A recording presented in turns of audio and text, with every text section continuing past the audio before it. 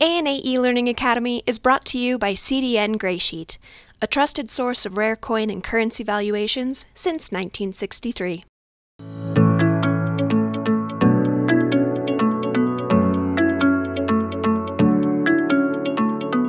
Hello, everyone. Thank you for joining us today for the ANA eLearning Academy. The ANA would like to thank our e-learning partner, Greysheet, for their support of the e-learning program. Today, we have a very rare opportunity. We've got Rod Gillis and Ken Bressett, who will be doing a presentation called Fundamental Grading Theory. Now, all attendees will be muted for this presentation. If you have any questions, you may put them in the chat or Q&A box, and I will read them to our presenters at a couple different spots throughout the presentation. They'll let us know when that is. Um, so we will all be muted, but folks, please sit back, relax, get ready for what I have been waiting for for uh, several weeks now, if not uh, at least a month or so. Rod, and Ken, whenever you're ready, gentlemen, the floor is yours. Thank you, everyone. Um, thank you for t- uh, taking the time out of your busy schedule to uh, visit with us today. Um, as Sam mentioned, we have a, a, a very rare and special uh, presentation today. Um, uh, Ken will be uh, a guest instructor. He'll be joining us, and uh, that that's always a, a, highlight for me. I know that uh, every time I have the opportunity to hear Ken speak, I uh, I learn something new. So, and I'm sure you will uh, you'll feel the same way.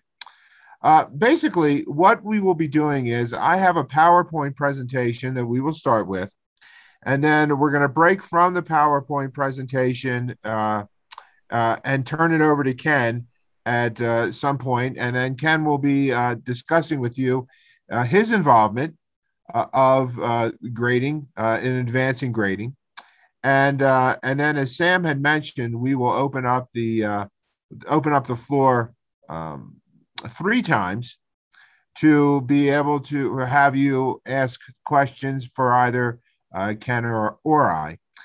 so that's basically what what we're going to do. Now, the reason that we call this fundamentals of grading theory is because we certainly realize that the best way for you to be able to learn how to grade is to be able to um, have coins in front of you. So I changed this around a little bit so that we're talking about the theory. And what we'll be spending time on today is we'll be looking at the history behind grading, how it developed we'll be taking a look at some tips that you can use when you are working uh, with coins and learning how to grade. So that's what I have planned for you today. All right. And with that, we'll get started. So uh, here's our roadmap. We have welcome introductions. We're going to define grading. We'll take a look at the evolution of coin grading, the history of numismatic certification. And by that, I mean the uh, the third party grading companies. We'll be taking a look at how to examine a coin. Uh, we'll talk about the first points of wear, and we'll also talk about focal points.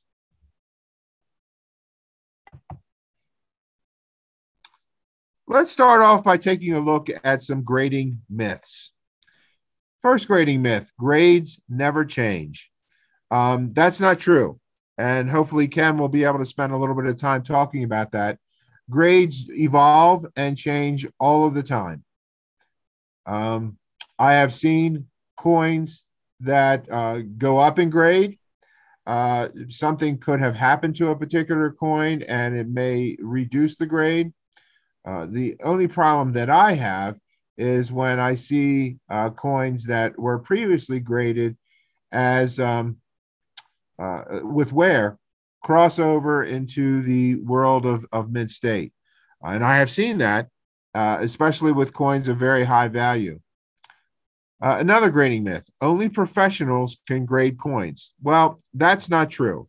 And as a matter of fact, the whole reason that you're here spending time with us today is to disprove that myth. Um, I personally believe that everyone uh, has enough talent to, uh, with some hard work, to be able to grade coins that are suitable for their collection. And, and I, that's very important. As a matter of fact, I would tell you that I don't think that um, uh, if you don't learn, at least on a rudimentary level, how to grade, that you're not experiencing everything that numismatics has to offer.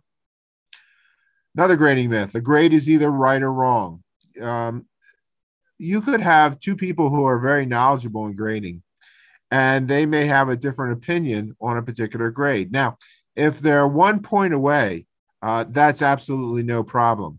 If one person says, well, a coin is graded good, and the other says it's graded mint state, well, then there is a problem. But I think what you're going to find is that many people, when uh, experienced graders, are able to look at a coin and come to a very close agreement as to uh, a particular grade. But if they're one point away, no one is uh, right or wrong.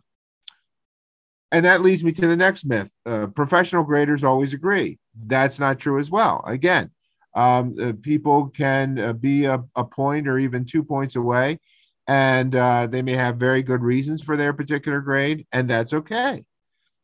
And if the coin is in a mint state holder, it cannot have any wear.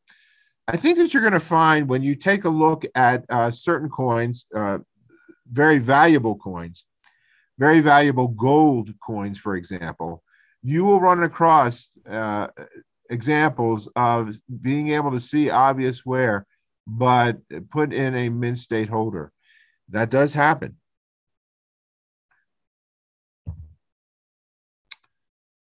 It's important to understand that grading is an art and not a science. As a matter of fact, I would suggest to you that grading is more art than science.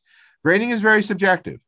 Um, we do have parameters and we need to hold close to them. But with that being said, it really is subjective. So let's spend a little bit of time talking about um, uh, the history of grading and what it is. Uh, grading is really a shorthand communication. It's a language all of its own. Uh, the language describes coins in sufficient detail. It describes a state of preservation. Uh, it has developed to become a common language, although it wasn't always that way. And we'll spend time talking about that. It uh, establishes a value range for sight unseen trades. Uh, there was over time, and Ken will be speaking about this, there were alternatives to uh, actual uh, photographs. There were drawings, pressings, and such. And so uh, grading has developed over time.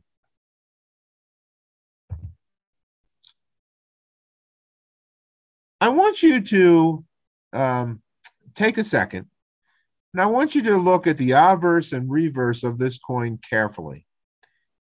And I want you to imagine for a moment that you are, uh, this is before uh, photography existed. And what I want you to do is imagine that you are going to try and uh, explain or describe the grade of this coin to someone who is interested in buying it from you. So take a minute, look at this coin carefully, and think about how you would describe this coin before images existed.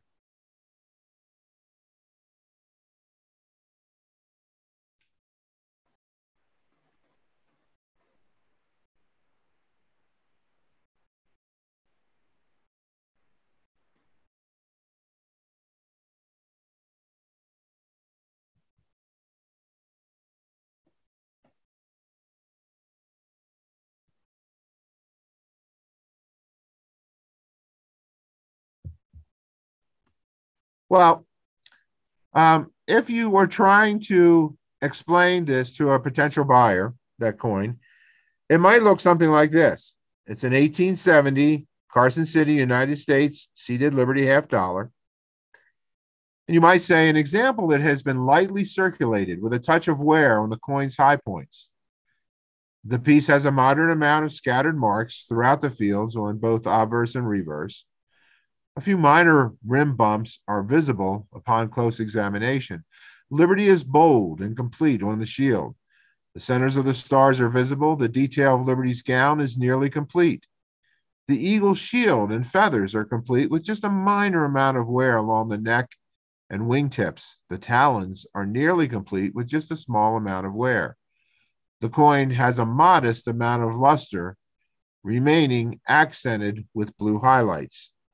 So if we look at it again, I think that you would find that that description that I just read is fairly accurate. The problem is that there's so much information there, it's hard to comprehend, to take it all in and figure out exactly what you believe the coin looks like. How have we solved that problem over time? Well, today we would call it an AU58. And by calling it an AU58, we would have a really good idea of that what that coin probably appears like.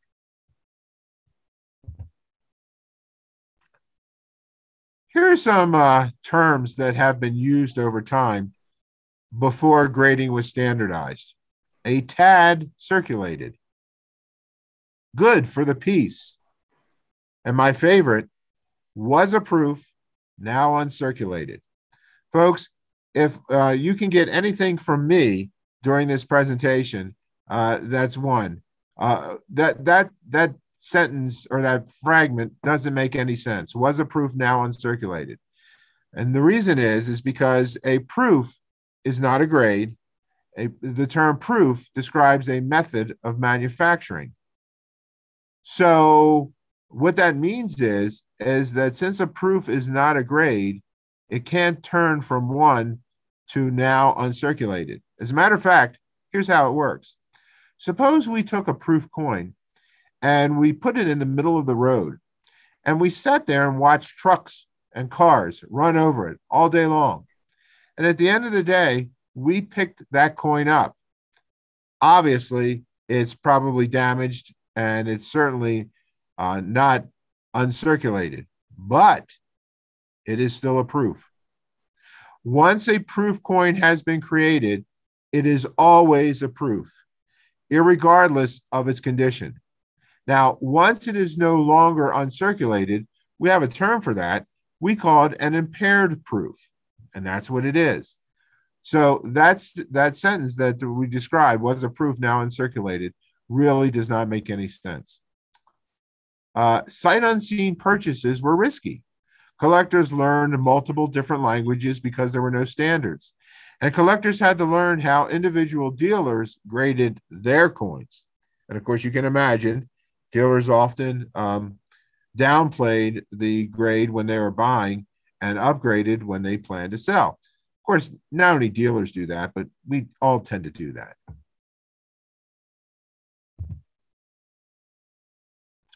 Early attempts. So the first call for standards for U.S. coins occurred in 1892. In the February issue of the Numismatist by Joseph Hooper, he described proof and uncirculated only extremely fine, very fine, fine, very good, good, very fair, fair, poor, and very poor. Now, I have a hard time figuring out what the difference would be between a coin that is poor and very poor. That's tough.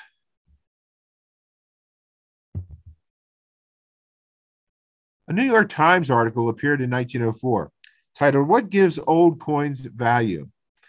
it was said that the principal reason for a large premium on a coin is its scarcity. And that's true. The mintage of a coin certainly has a role to play. The next thing in importance to the issue of a coin is its condition. And upon this really rests the value of a coin. Well, committees were formed with the idea of coming up with a standardization. And in 1907, at the ANA Columbus Convention, standards were proposed by Howland Wood. And he basically came up with the idea of uncirculated, very fine, fine, very good, good, fair, and poor. And he published this in the ANA 1910 yearbook.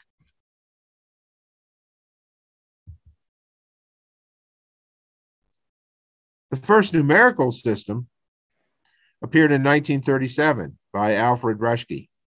And uh, what he did is he used a 100 point system, uh, basically, where he uh, grades uncirculated coins between 96 and 100, excellent 91 to 95, superior 86 to 90, and so on.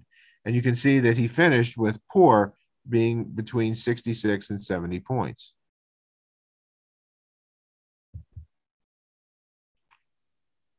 Um, the changing of standards, grade inflation. You know, a lot of people believe that uh, inflation is is fairly new. But that's not the case. Uh, inflation was raised as an issue in 1946 by Otto Odenhun, and he uh, the written descriptions are variable and changing. A series of actual coins of various grades uh, by a central authority can change, and what used to be fine is now very fine, etc. And again, uh, I can tell you that I have seen that happen.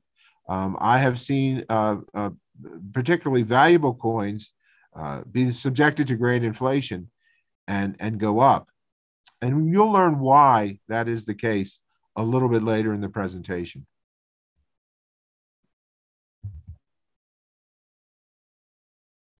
Major advances in grading. Um, a guide to the grading of United States coins, published in 1958, uh, by Brown and Dunn, the first standard work on grading all U.S. coins. All were written descriptions. It was revised in 1961. Photos were added for each type, no photos for grades, and line drawings added by 1964. Uh, the new Brown and Dunn system, which was published in 1969, an early attempt at degrees within a grade and coding a coin's attributes. So, for example, you could have a 1911 Liberty nickel and it would be graded FC 1417 9R4. What that means is a coin in fine condition, F, but with the obverse, a normal fine, and the reverse, a bit more worn, C, with normal patina 14, several die cracks 17, and a rim nick 9 on the reverse R at 4 o'clock, uh, Roman numeral 4. Can you imagine having that conversation with someone um, and, and debating whether that grade is accurate or not? Well, someone who knows the Brown and Dunn system and uh, is able to talk about that is here with us today. And that is Ken Bressett. And uh, Ken is going to be able to speak with us. Uh, of course, he can speak about anything he wants, but um, he's going to talk with us about sort of his involvement uh, in the uh, the history and the development of a standardization of grades. And uh, what is very special, at least in my mind, is that he's able to talk about um, his involvement with Brown and Dunn. Uh, before Ken does that, Sam, I'd like for you to, uh, if you would be so kind, is to uh, just remind people of how they might want to view their screen. Certainly. Thank you, Rod. Uh, folks, uh, to make it a little easier, uh, once uh, Rod, um, well, actually, you may want to go into a gallery view at this point. But Rod, if you're going to be sharing screen, it may not. Th- uh, well, it, it, really depends on whatever view is easiest for the participants. But yeah, gallery view may work out better for you guys. Uh, so just uh, pointing that out. So Ken, the floor is yours.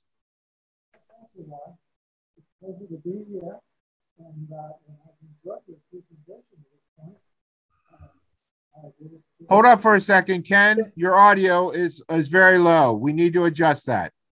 Okay. Yeah, Ken, we can't really hear you too well. Just just there.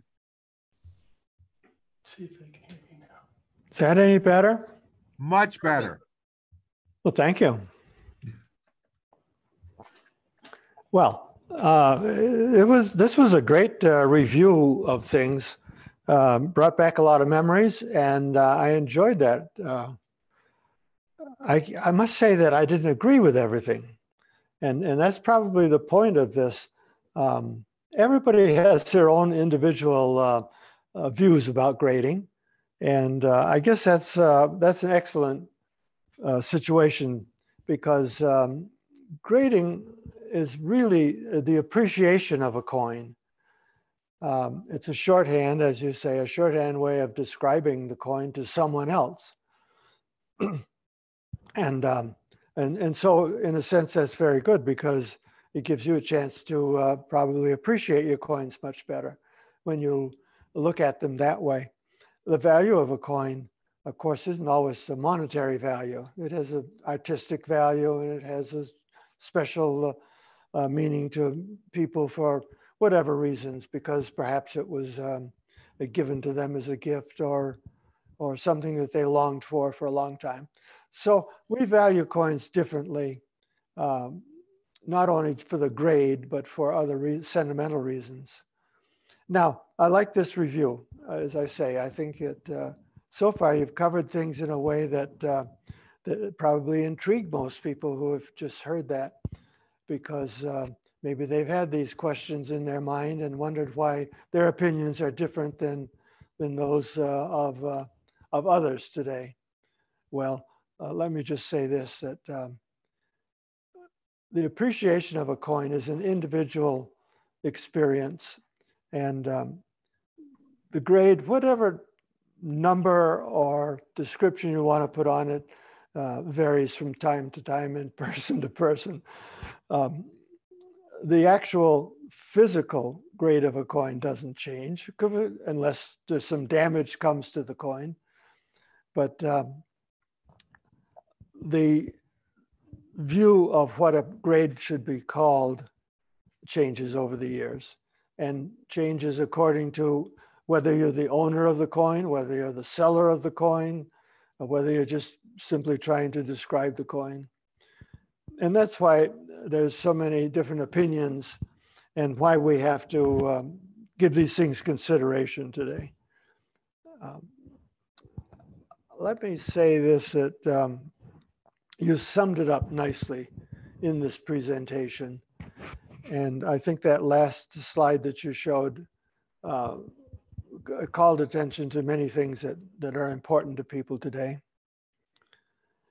My experience goes back to before 1950. So I've been doing this for a long time. And you'd think by now that I knew everything there was to know about grading. And, uh, and I can tell you very candidly that I, I certainly don't. As a matter of fact, I make it a point to sit in on the grading seminars that the ANA presents every year um, at the uh, summer seminars uh, or uh, through some traveling uh, seminars. I like to sit in because I like to see how the market values um, coins today and how they grade, uh, because that does change. It, it as, uh, as your notations told you, um, whether you're the owner of the coin or whether you're the seller of the coin, whether you're just trying to describe the coin. Um, those, those, those perceptions will uh, probably be individually um, assessed. My, uh, my early experience um, when I when I really began seriously studying coins and thinking about coins, um, that goes back to probably 1946 or earlier. And um, I, I, remember thinking um, of a, a, particular coin. I remember it today. It was an 1883 um, V-type nickel without the word cents on it. And uh, my, it was in just such nice condition. I was sure that it was a proof and, uh, and, and just so proud of that coin um, because I had never seen anything else quite like it. Um, today, I understand that it was just a very ordinary coin in, uh, in the usual condition, which was probably extremely fine. But you see, I didn't know any better. And um, it took a while for me to to gain the experience of, of being able to um, put a grade on my own coins. I had to do that very objectively and, and very harshly when I learned that how, how far apart I was in my grade uh, before I had any experience.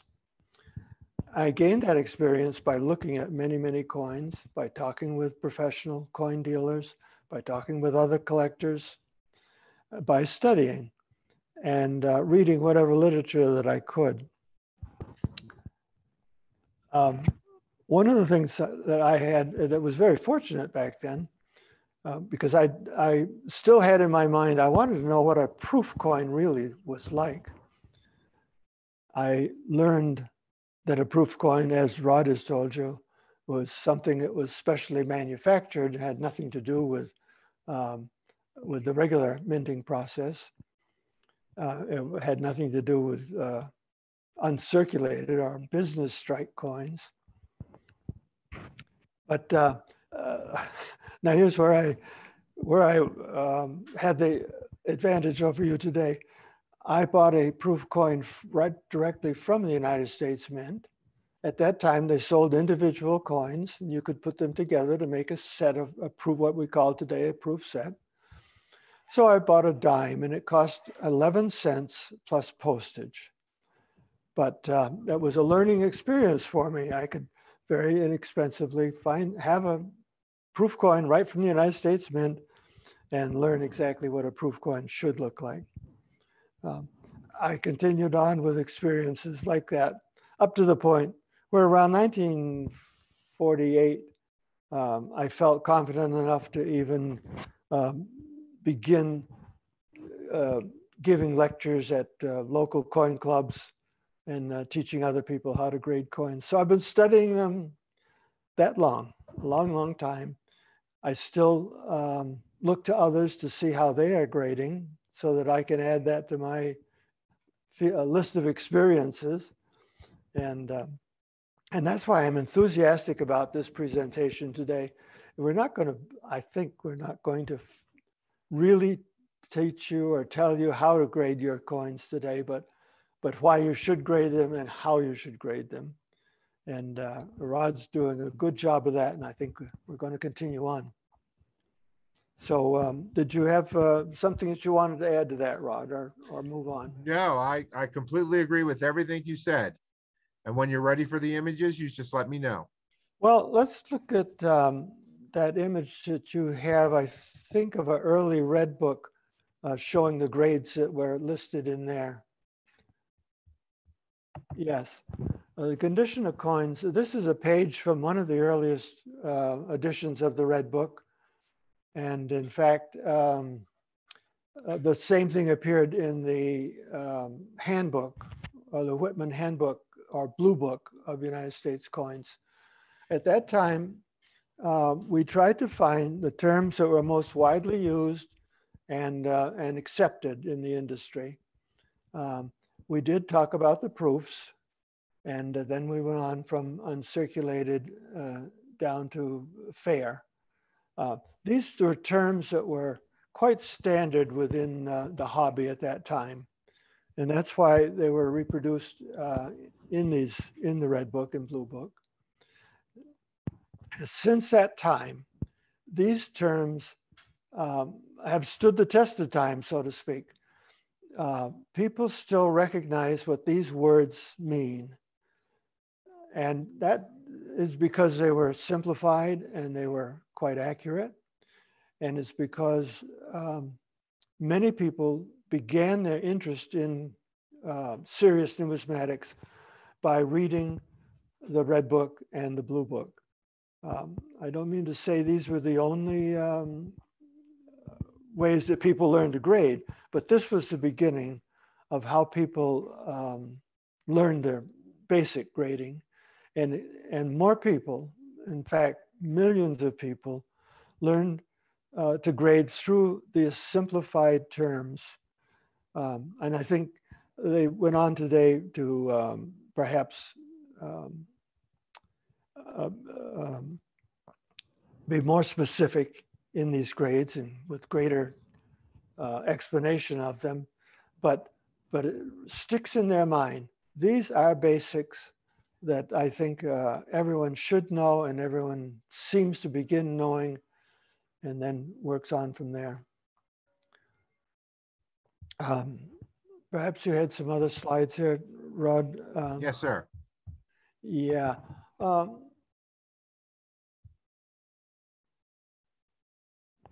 this is, uh,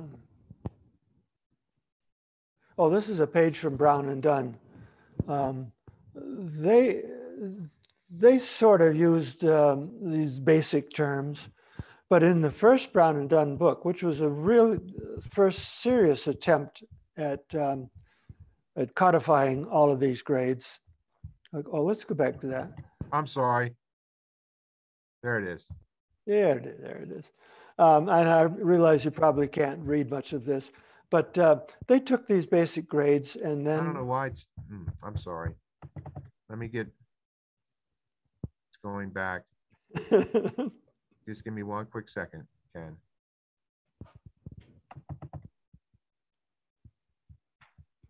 All right, let's leave it there for a minute.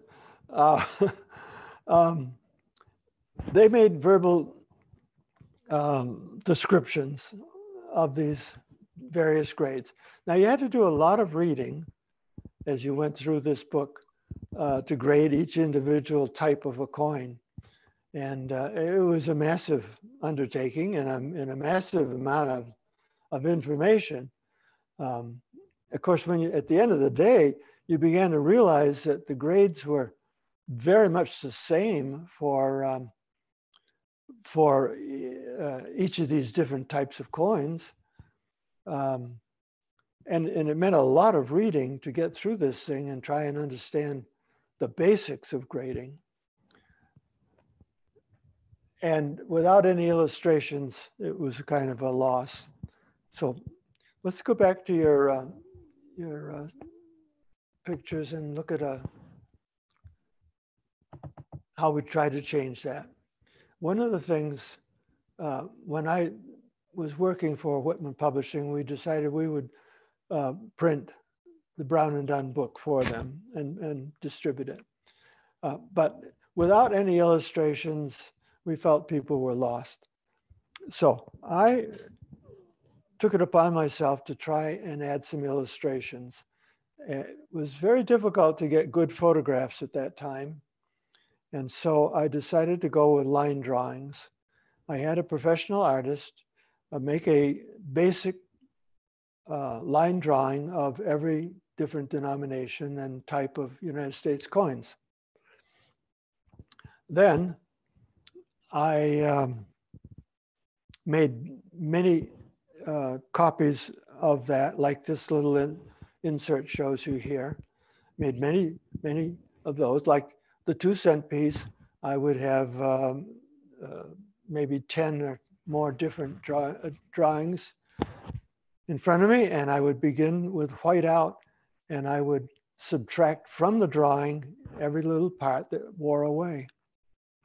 I had to examine many coins to figure that out, but you know, I quickly learned that the high point, what the high points were on these coins, and was able to touch them up with my whiteout uh, ink and um, make it look as though the coin was was fading away uh, from from uncirculated down to poor condition.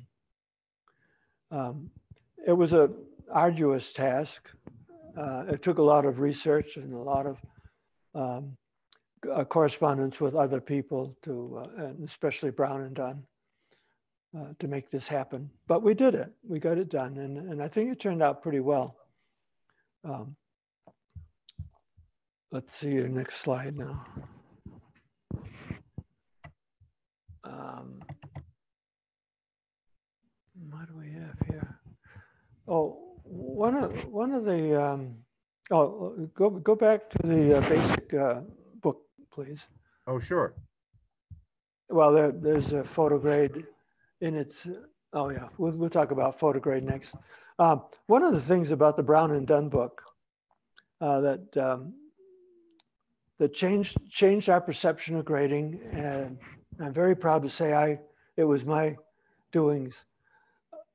They graded coins here, as you can see, from good to uncirculated. Didn't seem right to me, but that's the way everybody was grading their coins from the lowest condition to the highest condition. When I began um, working on the um, ANA grading standards, I, I changed that. I went from the best condition, the highest grade condition down to the lowest grade condition. And the reason I did that was because I did some serious field testing uh, among the employees at uh, the Whitman Publishing. Uh, they have a laboratory testing department. They have consultants. They have all sorts of resources. And I used them. I had people, uh, after I decided on the wording of these coins, I let a group of the people grade the coins from the lowest grade to the highest grade, and another group of people grade from the highest grade down to the lowest grade. I found out that consistently people somehow in their minds were much easier to learn how to grade from the highest grade down to the lowest. And so uh, when I finally published the uh, ANA grading standards, that's the way it was. And that's the way it is today.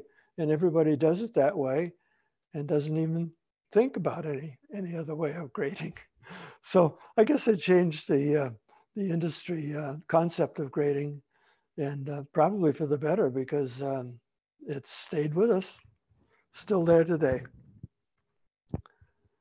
Um, uh, probably uh, you want to go back and do a little more of your presentation, Rod, at this Oh, point? Actually, we have uh, two other photos. If you'd like to talk about them, just let me get them up for you. yes, let's, well, let's talk about the, the one that you're pointing to there now, the uh, photograde. Um, photograde was a, was a, was a step in between the old Brown and Dunn and, uh, and the new concept of grading by uh, actual photographs. In the 19, well, by, in the 1950s and 60s, uh, coin photography was improving greatly, and uh, it was difficult to find enough coins in grade to uh, produce a book like this. But um, I give a lot of the credit, all of the credit to Jim Ruddy to actually going at that, finding sufficient coins, and um, and adding to his book uh, actual photographs of coins rather than line drawings. Line drawings were in the first edition of the um, ANA grading standards. They were in the Brown and Dunn book. Uh, people got used to grading with uh, with these simplified um, line drawings with with my whiteout, and um, I'm awful glad that we were able to switch to photographs of coins. The problem with photographing coins is not just finding coins, but finding coins that are in grade on both sides. It just rarely happens. Um, it's almost um, as though you have to have two coins to show the obverse and reverse of what each grade could be because coins are very apt to be, um, well, several grades, up to two grades different from the uh, obverse to the reverse. And um, and and I must say that we we've had to cheat a little bit on photograde and on the current um, grading ANA grading standards book. We can't always use the same coin to show obverse and reverse because they're just totally different and wouldn't stand up to um, uh, to word descriptions.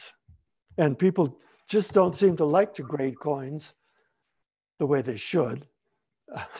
Uh, by describing both obverse and reverse. Today, we just use um, a grade that kind of, a numerical grade that kind of indicates in between uh, uh, one, the, the, the, two grades that are on a coin. I guess you call that um, uh, market grading today, um, which is market valuing not market grading. But um, that happens to be my opinion. And um, so, anyway, um, that's what I'd like to say at this point. And we have a picture in front of us of the uh, one of the first uh, issues. Uh, it probably is the first of the official ANA grading standards, and then we have the most current edition, which is actually in color. And uh, Ken, did you want to save that for later, or would you like to talk about your involvement with the grading standards now? Oh, we'll talk a little later about that if you wish. Okay, that's that's uh, completely up to you. Sure. We'll, we'll save that. I think you have more of your presentation, don't you, at this point? I I certainly can and and do. Sure. Um, but before we get to that, Sam, did you want to open it up for some initial questions? Yeah, well, let's see. We've had a couple come through the Q and A so far. We could uh, handle a couple right now if you want, and then uh, get back to it. Sure. Um, all right, let's see. Uh, first person uh, here asked, uh, uh, "Is there any wrong way to store a coin that would affect its preservation?" I know uh, the answer. I'll let you gentlemen handle that one though. So, any wrong way to store a coin that would affect its preservation? I'm not sure if that's uh, where we were going with this. That's more of a coin preservation than grading uh, per se, but not sure if that's something you wanted to address. Well, so I, will start off, and Ken, please feel free to chime in um, at any time. Uh, I, I would say that there are uh, two things come to mind for me and that is that in storing coins, um, it, it's it's a it's really a, a, personal thing, depending on whether you want to store uh, how to store your coins. In other words, um, in the way that you want to present them. So you can store your coins individually, uh, which a lot of people do, or you can store your coins sort of together um, in an album form. And, and there are pluses and minuses for each the two things that I would say that you really need to be careful is, um, and, and it's important to understand that in storing coins, you can spend a little bit of money or you can spend a whole lot of money and, and how to store them. And it's, you can use um, methods that are not expensive to store coins that is fairly effective. So it's not necessarily how much you want to spend that uh, will explain uh, how well you've stored your coins. I will say that one of the uh, lesser, uh, in terms of expense, ways is by using two by two cardboard holders. And if you do use two by two cardboard holders, um, you want to be careful of two things. Number one is you don't want to jam the uh, um, holders next to one another once you've inserted coins in them. Uh, and it's all because of the staples. The staples can actually, in high humidity areas, um, rust, and the rust can leach onto the uh, holder it's jammed next to and affect the, coin that way.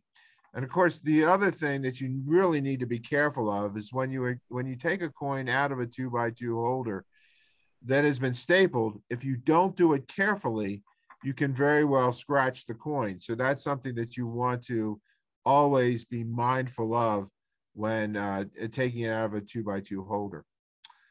The other thing I will say is if you want to, um, there the type of flips, um, there is a, a, a, chemical that has been added to some of the flips uh, called PVC or polyvinyl chloride and the the mint actually used poly or used polyvinyl chloride at one time. Um, and the whole idea was that the flips tended to be very brittle. And polyvinyl chloride was added to make the flips more supple which was a, a, a good idea in theory. The problem was that people didn't know that polyvinyl, polyvinyl chloride or pvc can break down and if it breaks down, uh, it can attack your coins. And we see this especially with copper coins, where if a coin, a copper coin has been in a, uh, um, a flip that was impregnated with PVC, uh, there's a possibility that you'll get this green goo on your coin that will actually attack the uh, the relief of the coin and it becomes a real mess. Now, uh, does that mean that if you insert a coin in a polyvinyl chloride uh, holder that it's immediately going to change? No, it's it's a very long process, uh, but it does happen, and you need to be mindful of that. And uh, because that um, it doesn't change immediately. That's why uh, PVC holders are still available. Uh, because if you're using them for short-term storage, you're probably going to be fine. In other words, if you put a copper coin in a PVC holder and you're holding it in there for six months, you're you're going to be fine. Uh, but if you plan on holding it in there for years, you're really tempting the fates. So those are two examples that that I can relate to that I'm mindful in terms of storing your coin.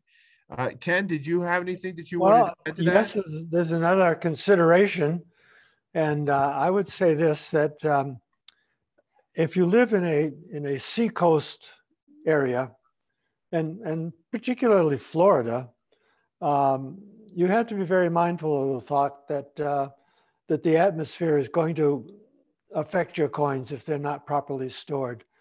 Um, I, it's, it's nice today that we have um, slabbing uh, because the coins are somewhat protected by that. But um, it's, it's very, uh, coins are very susceptible to the atmosphere, um, atmospheric conditions that, uh, that might cause them to, to tarnish or tone if they are um, a silver uh, or actually uh, uh, corrode if they're copper. And so uh, I, I, would suggest that everyone move to uh, Colorado, where, where, we have a lovely climate here, and it's it's very arid, and um, you don't get those those problems. And, and, it would be nice to have everybody living in Colorado. But if you can't do that, uh, be be mindful of where you where you might happen to be living, um, and the conditions there, uh, because there are places where the air is polluted or uh, the high humidity or other factors that um, that can affect your coins and you have to think about that uh, type of storage. Uh, I would also say that uh, where many people store their most valuable coins in bank vaults and uh, and you have to be concerned about that. A new bank, freshly built or, or recently built, um, the the um, concrete walls that that might uh, protect that vault where you're storing your coins probably don't dry out actually for several years and the moisture can affect your coins. You should always check, however they're stored in a vault, uh, check frequently to be sure that nothing is happening, nothing is changing with your coins. Um, frequently watching or using um, uh, humidifiers um, can help, but you but you have to watch because there are many factors that can um, that can affect your coins depending on where and how they're stored. I highly recommend this book if we can see it. Uh, it's an ANA publication. Rod can tell you about that because he had uh, uh, um, a great deal to do with putting it together. But in that book, uh, besides uh, walking you through many of the things that are being brought to your attention today, there's a, there's a good article in there about uh, coin storage and, and the P PVC problem. I think more coins, more paper money has been damaged by uh, uh, PVC contamination than uh, any other factor uh, other than uh, natural conditions. All right. Thank you, Ken, for um, thank you, Ken, for uh, bringing uh, the book to our attention. Uh, Bill Fivaz actually had uh, was a major contributor to that book, and so that that um, that that and by the way, that is a book that we give out to our students who take the live class. So if you're uh, fortunate enough to be able to take it in future summer seminars, we encourage you to do that um, so that you can take the class. One really quick thing I wanted to add on to Ken's uh, excellent uh, discussion concerning banks is that um, make sure that if you do put your coins into a uh, a, a, bank vault, your your own um, box, safety deposit box, please do not choose the very bottom one that is next to the floor. And the reason is that if there's carpeting there, oftentimes they will use very caustic uh, chemicals to clean the carpets, and that can very well leach into your safety deposit box, uh, the fumes and such, and cause uh, damage to your coins. So insist when you're using a safety deposit box that is that it is not the lowest one to the floor. I'm, I'm so glad that Ken brought up the whole idea behind banks. All right, Sam, go ahead. Okay. Um, I had someone else ask. Uh, well, he said, first, it's an honor to listen to Mr. Bressett. Uh, so thank you for the presentation. If you have a split grade obverse reverse coin, do you go with the lower grade overall? Ken, did you want to? Did Well, you want to start well, off? That's for you, Ken. I'm not Today- answering that one. Today, everybody seems to be uh, net grading, net grade or market grade. Um, uh, actually, I'm a traditionalist myself. I like to, uh, to to call a coin the way it really is. It has two grades. If it has two grades from obverse to reverse, I, I will describe it that way.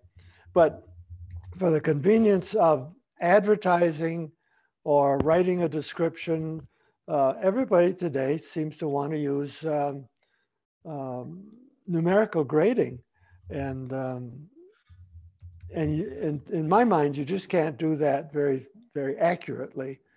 Um, I think a coin should be called for what it is um, by talking about both sides of the coin. Um, however, net grading is what's happening today. Learn to live with it um, I, I guess that's about all I could say for it.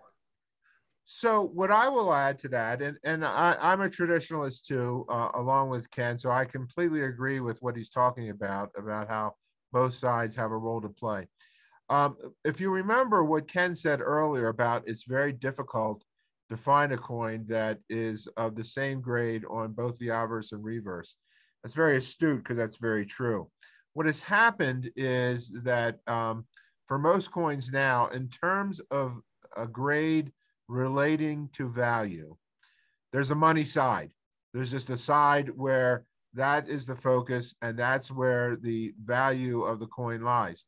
Let's use a Morgan dollar, for example. So the obverse of the Morgan dollar is the money side of that coin. And when you're looking at uh, coins that have been graded by a third party grading company, um, the general rule that you will encounter is this that the non money side, in this case, the reverse, can only hurt but never help the final grade. And you may agree or disagree with the philosophy behind that. Okay. And you would be in good company, but that is the fact of the matter. So let me say that again the non money side, and in most cases, it is the reverse, you will find that uh, the reverse, uh, the non money side, can uh, never help, but uh, can never help but only hurt the final grade. So if you had a, a, a Morgan dollar, and let's say the obverse is a uh, 62 and the reverse is a 64, it's going to come back as a 62. It, it doesn't matter. Um, and like I said, and and I would think that Ken would probably agree based on what he said, that that's not uh, to a traditionalist. That's really not good, or we wouldn't agree with that. But the fact of the matter is, that's the way it works. Well, it really all depends if you're pricing the piece or if you're Mhm. grading the piece. Right? No, you're absolutely right. All right, we'll take one more, Sam. Okay, yeah, we've got uh, several that have come in, but we can uh, hold off uh, till Sure. later as well. Um, so one last question we can ask right now. This is a fun one. What series do you find particularly hard to grade? I'm interested in Ken's answer to this. Uh huh. Me too. okay, I'll, I'll, I'll tell you, yap stones. now I say that in all seriousness because they are very difficult to grade, and um, they are certainly numismatic. Uh, yap stones um, are valued uh, not on their condition, uh, but on their um, history of, of who owned them and where they came from and and uh, and uh, what's happened to them over the years. Uh, so uh, some of the most valuable yap stones are in the most miserable condition um, because, because of uh, what has happened to them over the years. Um, so uh, very, very difficult. Um, probably um, a second to that uh, in the United States coins, I would say um, Liberty Standing Quarters. Hmm. Hmm. Yeah, I, I constantly have problem with that. I, I disagree with the grades on, on a lot of coins, but, but then grading ought to be an individual thing. You grade a coin because you want to uh, uh, record it in your own mind as to what it looks like and enjoy it. Uh, if you want to price it, then that's a different thing. Uh, you know, there were dealers in the past, and I'll point to um, Richard Picker, a great friend of mine and a, and a great scholar. Uh, he never graded a coin. Uh, he was a dealer, a very successful coin dealer, and there were others. Um, but if you ask Richard Picker the grade of a coin that he was showing you, you'd say, well, that my grade on that is uh, $420 and and, uh, and and yes, that was his grade. It was his price.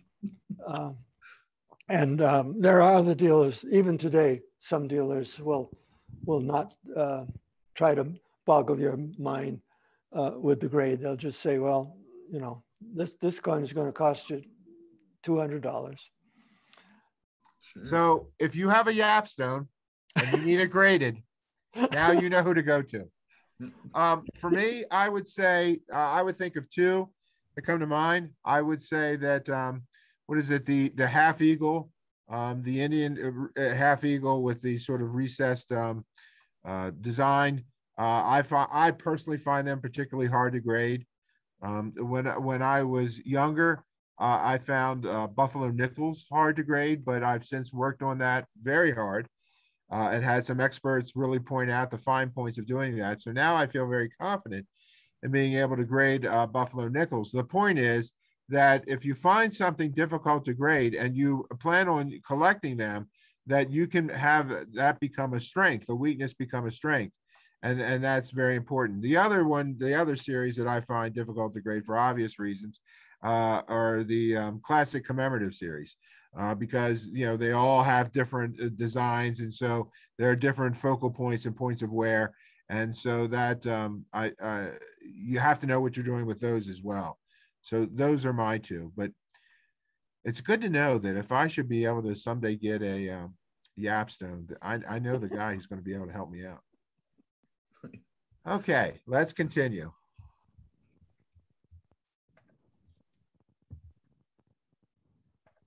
So, um, as uh, Ken talked a, bit about, the uh, photograde was uh, uh, something that really changed the way that people were able to study grading. Published in 1970 by James Ruddy, um, uses photographs of coins for each grade with brief written descriptions, uh, notes added to individual grades. Um, there were no images or descriptions of mint state coins like Brown and Dunn. This was widely accepted standard for circulated coins. Then we have the ANA standard, um, which uh, edited by Ken Bressett and Abe Kosoff, published in 1977, detailed introduction and background information, introduced standards for mint state coins, uh, specific written descriptions for obverse and reverse, resurrected line drawings, Photographs appeared in 1987 with the third edition. Color photographs appear in the seventh edition. And Ken, is this a good time that you'd like to speak about the um, well, ANA sure. grading standards? Sure. Um, thankfully, they have become sort of standards, although they've been abused by many. Um, and and um, and, and a lot of grading services um, sometimes claim to use ANA standards, but they really have their own variations on that. But in the early 1970s, late 60s and early 70s, um, the, the, grading situation had really gotten out of hand. um, dealers were inventing all sorts of, of crazy terms that they were calling coins, everything from sexy to Godzilla and, um, and, and who knows what. Um, Richard Yeoman, Dick Yeoman, um, had um, did a survey at one time um, for an article that he was writing about grading. And uh, he surveyed the uh, whole collecting industry as well as he could. And um, he found, I think it was something like 87 different grade terms that were being used. And of course, uh, you, couldn't understand them, they didn't make any sense. And um, I'm glad that uh, we did something about that because because it was just confusing people even more um, than than the inability than their inabilities to grade. You couldn't understand what a dealer was trying to do when he was telling you that a coin was was superb, superb, superb. So um, a group of dealers and uh, concerned people got together and um, we had some meetings and decided we would try to do something about standardizing the terms for grading. Not necessarily the grades, but the terms that were being used. Um, the ANA had a couple of uh, conferences where we got gathered together as many uh, knowledgeable and concerned people as possible and um, and explore the possibilities of making some ANA standards that could be used. Um, as that developed along the line, along the way, um, some of those leaders, Abe Kosoff and um, Harvey Stacks, were, were, were, some of the most uh, prominent um, proponents of this, wanting to get the job done. Uh, I, I followed it very carefully and got in on things so that I could get the printing job. Frankly, I was working with uh, uh, a Whitman Publishing Company, Western Publishing, and uh, we wanted the printing job. Uh, it was an obvious thing. Uh, we were printing uh, the Red Book and the Guidebook and other numismatic books, and we wanted to, to publish this book if at all possible. So I was um, one of the principles in making this happen. There came a time when uh, a group of the most concerned people got together and said, we've got to get this done. Uh, who's going to write it? Who's going to make the standards? How are we going to do this? And um, mine was the only hand that went up. and that, that wasn't because I was brave or knew more than anybody else. It was because I wanted that printing job. And um, so, um, as it turned out, uh, there were really, truly uh, a, a, number of people who were instrumental in making this happen. But it was Abe Kosoff and myself and Harvey who, who really put things together. We said, we're going to get the job done we um, personally interviewed people, uh, dealers all over the country to um, get their views about what the grades should be and, uh, and how we should grade them. Um, that all came together on my desk where I had it all there and I, and I had to codify it and, and put it together to make sense out of it because you couldn't be grading um, Buffalo nickels one way and Morgan dollars another way, or or gold coins yet another way. Um, but eventually, and through the help of these uh, these people, we got the job done. We got it all written and ready to go to press. And and so we did.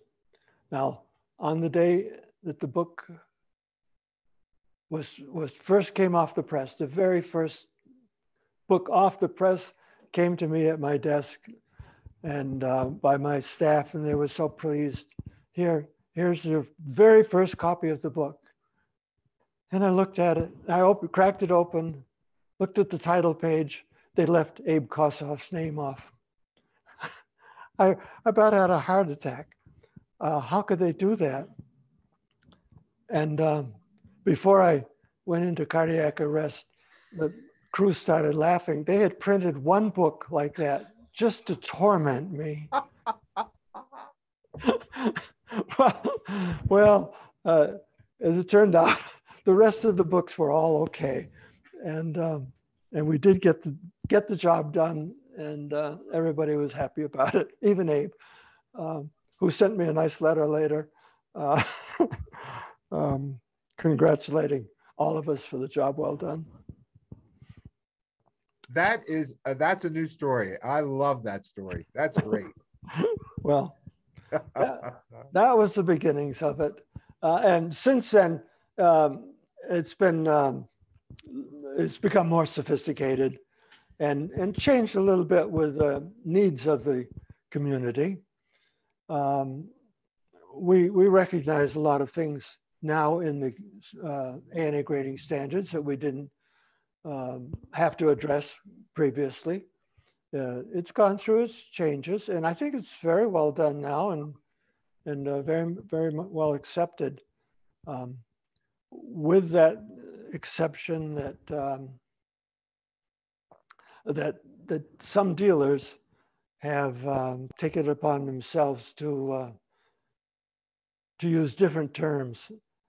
Um, I, am quite quite perturbed, as a matter of fact, with the terms today of of uh, environmental damage and uh, and um, and stickered and whatever whatever modifications that, that they're talking about today. Um, I think we're adding more and more um, of these superlative adjectives to the descriptions and almost headed back towards the 1970s where there were way too many descriptions to, uh, to simply boggle everybody's minds and not know what the, the true grades are.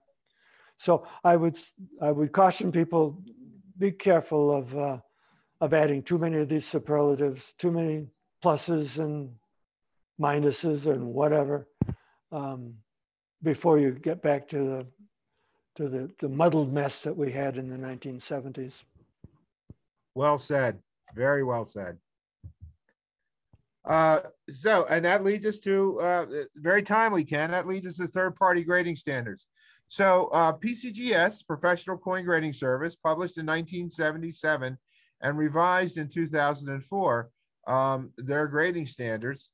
Um, uh, detailed descriptions of grading circulated mint state and proof coins and Numismatic Guarantee Corporation, NGC, published in 2004, uh, their focus on modern coins post 1964 and their guide for grading uncirculated and proof coins.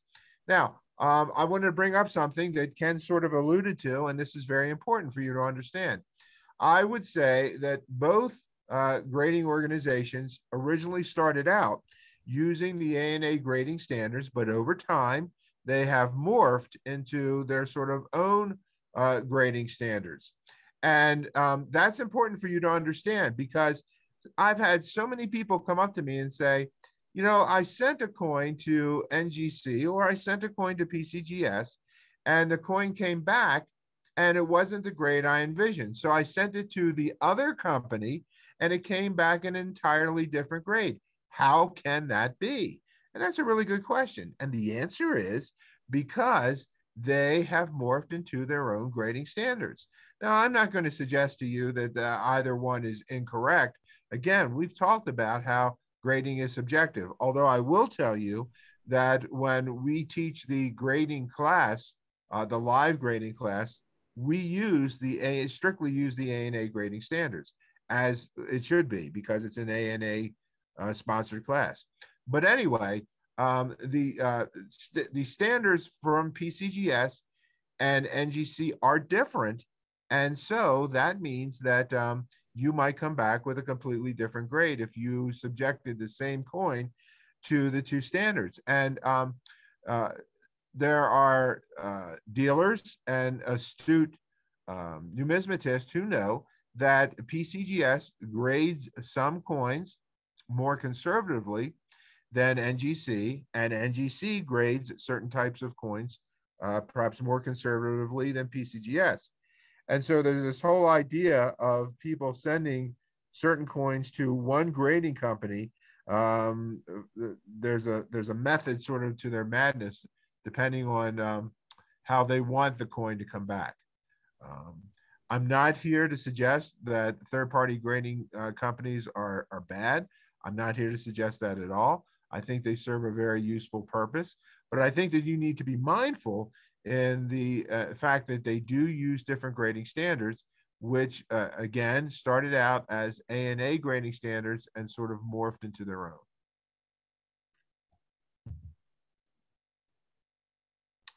The Sheldon system.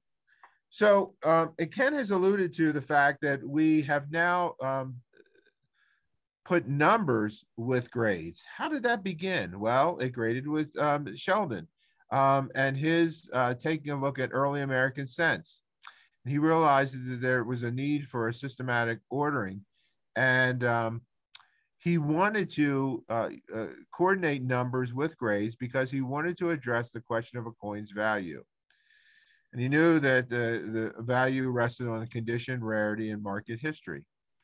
And so he wanted to uh, correlate value with condition. And he used uh, uh, he used um, the track sales of common varieties of, 19, of 1794 cents. Um, and what he did was he decided that an identifiable and unmutilated condition is basal state. That means that a coin that is so worn that it's not been damaged, but it's um, so worn through honest wear that you can only tell what it is. He gave that a condition of one. And he decided at that time, and remember, this was in the late 1940s, that the sale price for such a coin was 50 cents. Um, coins that were in fair condition, he gave the number two, bringing twice as much as the basal state, since fair coins at that time sold for about $2 a piece. Um, he used auction and sale average prices. You know, of at that time, fair uh, coins, uh, the large cents that he was studying sold for $2, good for four, fine for 12, and about uncirculated for $50. So what he decided was he came up with a formula that the cent value equals its basal value times the condition. And that's how he came up with numbers to associate with the value of coins.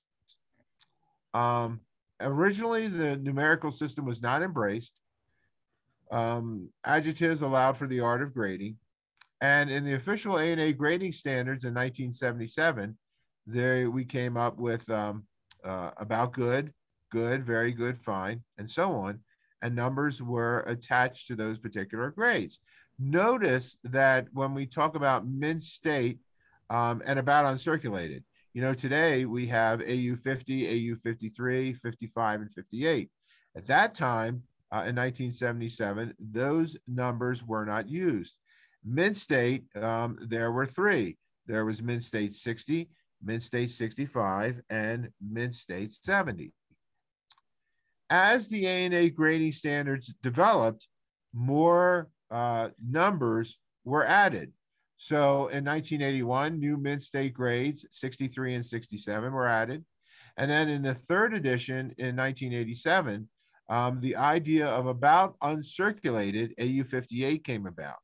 And it was that this time 11 mint state grades were used all the way from 60 to 70. And it was really embraced at this time that there was a relationship between market value and grade. And so today, when we look at ANA grading standards, you see the following. And I'll just let you take a look at that. Uh, you can read them as well as I. Uh, Ken, did you have any comment concerning that? Uh, yes, I could. Um, in 1948, uh, when Sheldon was uh, was um, working on it, or even before that, when Sheldon was working on his book on grading, on on early coppers, um, I was collecting early coppers by die varieties at that time, and um, had a modest collection. But I wanted to learn about grading so that I could uh, better grade, grade my coins. So I actually uh, uh, corresponded and uh, with, with Sheldon and, and uh, we became acquainted. And um, when he began writing his book um, and was accumulating pictures for it, I was learning coin photography on my own. I had to do that on my own. There was no such thing back then.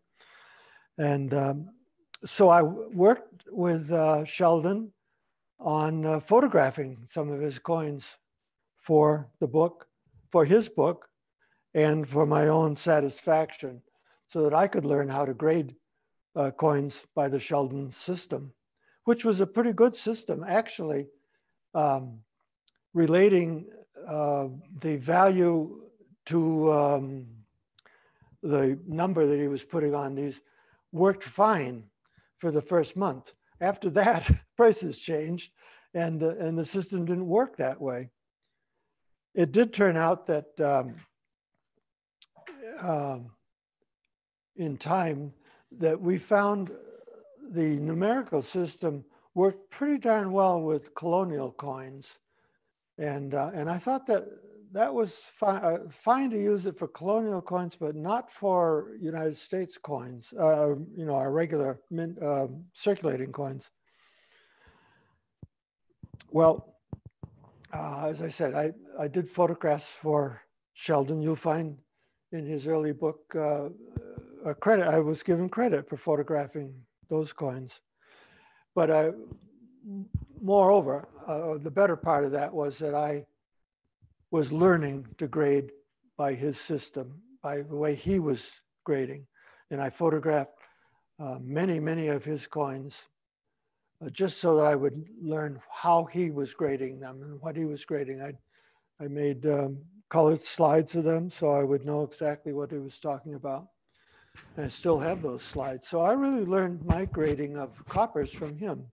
And I used it for my, uh, the way I graded colonial coins, uh, where, where it worked pretty well. Where it began to fall apart was when industry tried to use it to grade uh, Morgan dollars. I don't think it works well with Morgan dollars. And um, um, so anyway, the rest, the rest was history. But as I was, I'll do an aside here. While I was uh, photographing his coins, uh, he was a doctor and he was always busy, but he had Dorothy Paschal, his assistant, bring his collection to me in New Hampshire where I lived, and, and I photographed his collection there. Um, it was uh, quite an event because uh, seeing his coins um, uh, you know, it was just a great numismatic experience for me. And uh, I wanted so much for my son Philip to, um, to enjoy this, this with me. And poor Philip came down with the measles that very, very time that, that the Paschal came to me with the co collection. And, and Philip could never look at the uh, collection because he had to stay in his room with his measles. so so that was my experience in learning grading from um, from Sheldon himself. Nice. Oops, we've Thanks, lost Ken. something. Uh, yeah, I think uh, Rod uh, may have uh, got disconnected from us for a moment, but um, fortunately, though, we do have about two dozen other questions on deck. Uh, yeah.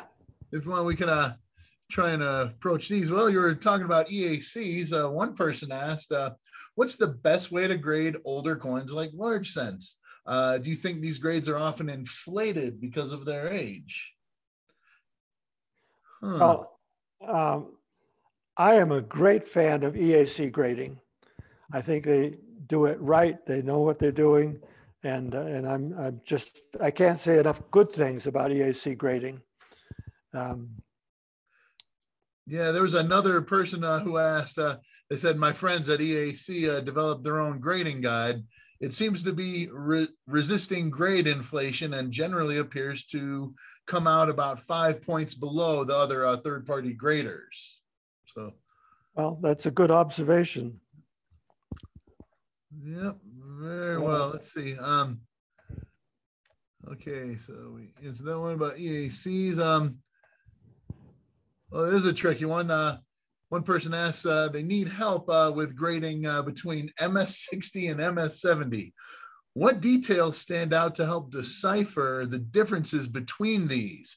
I feel like in this grade range, it is so difficult. And uh, just a shameless plug, real quick, for our grading Mint State U.S. coins diploma course. Email education at money.org if uh, if you're interested. I, I have to agree with you on that. Yeah, that's a really tricky one to to handle. Uh, let's see. Well, in, that in that grade range, really, it's a I. It's often a matter of opinion, and what a person sees, um, and I think it would be very difficult to find a half a dozen people all agreeing on on a one point difference in that in that range. It, it yeah. just boggles my mind. exactly. Yeah, it's 11 different grades there too. well, there's 11, 11 different prices. Yeah, precisely. I apologize. Yes, prices. Yes, that's more like it. Yes. Yeah, because really you're only pricing it when you get into that range. Exactly. At that point. Well, here's an interesting question. With advanced scanning and image used by satellites and other technologies, might it not be time to make grading a science by digital description and not a subjective art? Hmm. Well, it's hard to, it's a little hard to um, answer a question like that. Yeah, exactly. because coin collecting is such a personal uh, endeavor. It should exactly. a person should have fun collecting coins, not get into that kind of um, mind-boggling situation. Okay. Yeah, from uh, what I understand, we're uh, working on uh, trying to get Rod back online here, so he should be here uh, pretty soon. But here's an interesting question. Um, I see coins graded with a plus sign as a VF plus, for example, or um, graded uh, sometimes with like, for example, NGC with a star next to it. Uh, I think the star is different than the plus. That NGC uses. But uh, I wasn't sure if you wanted to take a stab at that one, Ken. Well, I will. Um, I'll, I'll tell a story about a very fine and um, ni- a nice friend of mine who is a dealer. And um, as a joke, he, he got some of those little stars that the teachers put on your paper if you get an A. And, and he put these little stars on his um, uh, slab coins. Uh, just as a joke, not meaning, not saying anything different. That There was the grade, but but he also had a star or two on there. Uh, so people would ask about, well, what's the star mean? Oh, no, I just put stars on them because I liked them. and, and, and it was as meaningful as any of the other pluses and stars that you're going to find on those holders. So be cautious of, of that. It's a sales gimmick when they when they add pluses, I, in my my personal opinion. Exactly. Huh. Okay, I think I'm back. Nice. Yep, we got you there. Hey, he's back. we were just uh, going through some of the uh, Q and A there, some of the uh, questions and answers. Oh, that's great. Ken was able to answer most of them, so we're okay with that. Luckily, he knows grading somewhat, so we're okay. Been doing it a little bit. So, um, Rod, I wasn't sure. Should we uh, go on with some more questions? Uh, um, wasn't sure. Uh, uh, if you wanted to um, pick are, up are you still at, are, so I went back to the PowerPoint presentation. Are you able to see me? Or the, yes. You're able to see the presentation?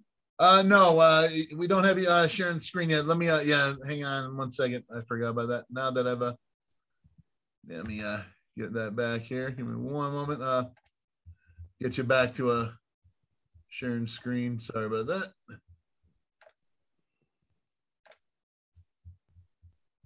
Okay, should be good to go now. Can can you see it? Uh, did you hit uh share? I'm not finding share screen now. No. No. You do have uh, co-host duties now, so it should be a Hopefully it'll uh, let you do that.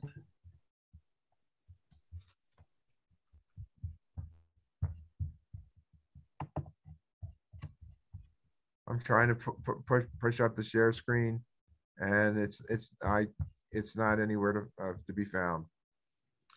And uh, and your presentation is uh, it's open. My presentation is open, correct? Strange, yeah, because uh, it should let you do that.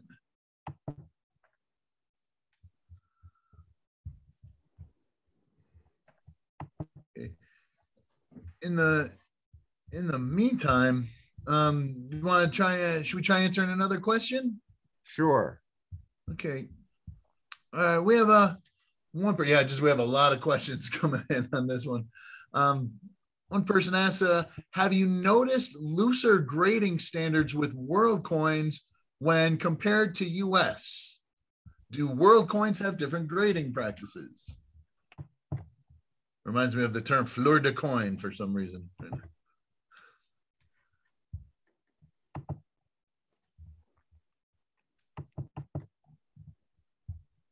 Okay, good, Brad. Uh, should have a yeah screen share, but um, yeah, there we go.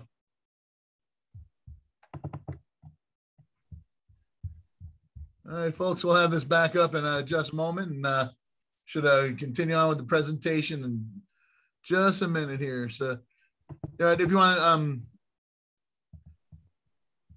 yeah, if you hit uh, there? Perfect, nice job. Yep. Okay, I apologize, everyone, for the technical difficulties. Um, do you want me to start from there? Did you want to answer the, that question or? We could take a shot at that question. Okay. All right, go right ahead. So yeah, World- different looser green sands for uh, Yeah, world well- coins. Uh, I, it's a different kind of grading, I think, in uh, um, more traditional in in its uh, fewer terms and um, probably stricter, much stricter than the uh, market grading here in this country today with with United States coins. Um, I think that the um, uh, ancient coin market and um, the um, foreign markets in general uh, grade their coins um, what I would say uh, stricter and more properly than we do in this country. Um, they're, they're not using market values. They're using uh, very objective terms about what the coin looks like. Really, really looks like. Nice. Okay. All right, so I'll, I'll get back. I think where we left off, um, we were talking about the types of grading and basically there are two types, there are technical and market grading.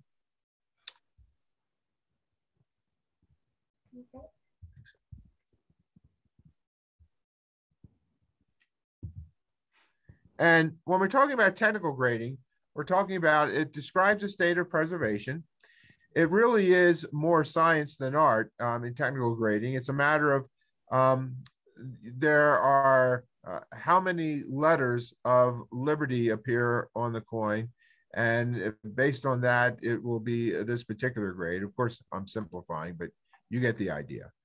Um, it's relative to the piece as struck. In other words, when we're talking about um, scratches and detractors, in the strict sense, that's not supposed to take a, a big toll in terms of technical grading. Um, there's circulated versus mint state coins. And in our class, when we teach the live version, we generally use technical grading standards for circulated coins. Um, it's technical grading is not affected by the marketplace. A um, very fine Buffalo nickel is going to stay a very fine Buffalo nickel, no matter the rise in price of that particular coin. So we consider it the true grading of a coin. Market grading. Market grading, um, we usually uh, set aside to use for mint state coins, and it describes a state of preservation with modifiers. And here are the modifiers marks, strike, luster, and eye appeal. Um, the grade is dependent on the marketplace. It's the true pricing of a coin, and grades can change. Now, I've talked to several uh, people who are very important in the hobby, and um, Bill Fivaz will tell you, for example, that market grading is not grading a coin; it is pricing a coin. Uh, that, and he believes very passionately about that. That that's what it means. Um, he also said something to me that I, I never quite understood, but when he said this to me, it made it crystal clear about eye appeal. You know, eye appeal is a sort of nebulous idea that um, it, it is what you like. And to a certain extent, that is true. What Bill said, and, and this made a lot of sense to me, he says that luster plus strike plus the detractors uh, equal eye appeal. And, and that makes a lot of sense to me. So that's that's how I came to the conclusion about what eye appeal is. So um, market grading tends to be used with AU up through mint state coins. Uh, we take a look at friction versus wear. Larger diameter coins are allowed more friction. Softer metal coins are allowed more friction. Um, when we look at softness, gold is the softest of the metals that are currently used in making coins, followed by silver, followed by copper, and the hardest of the metals tends to be nickel. Um, older types are allowed more friction. And what we mean by that is coins that were minted long ago uh, tend to are allowed more friction.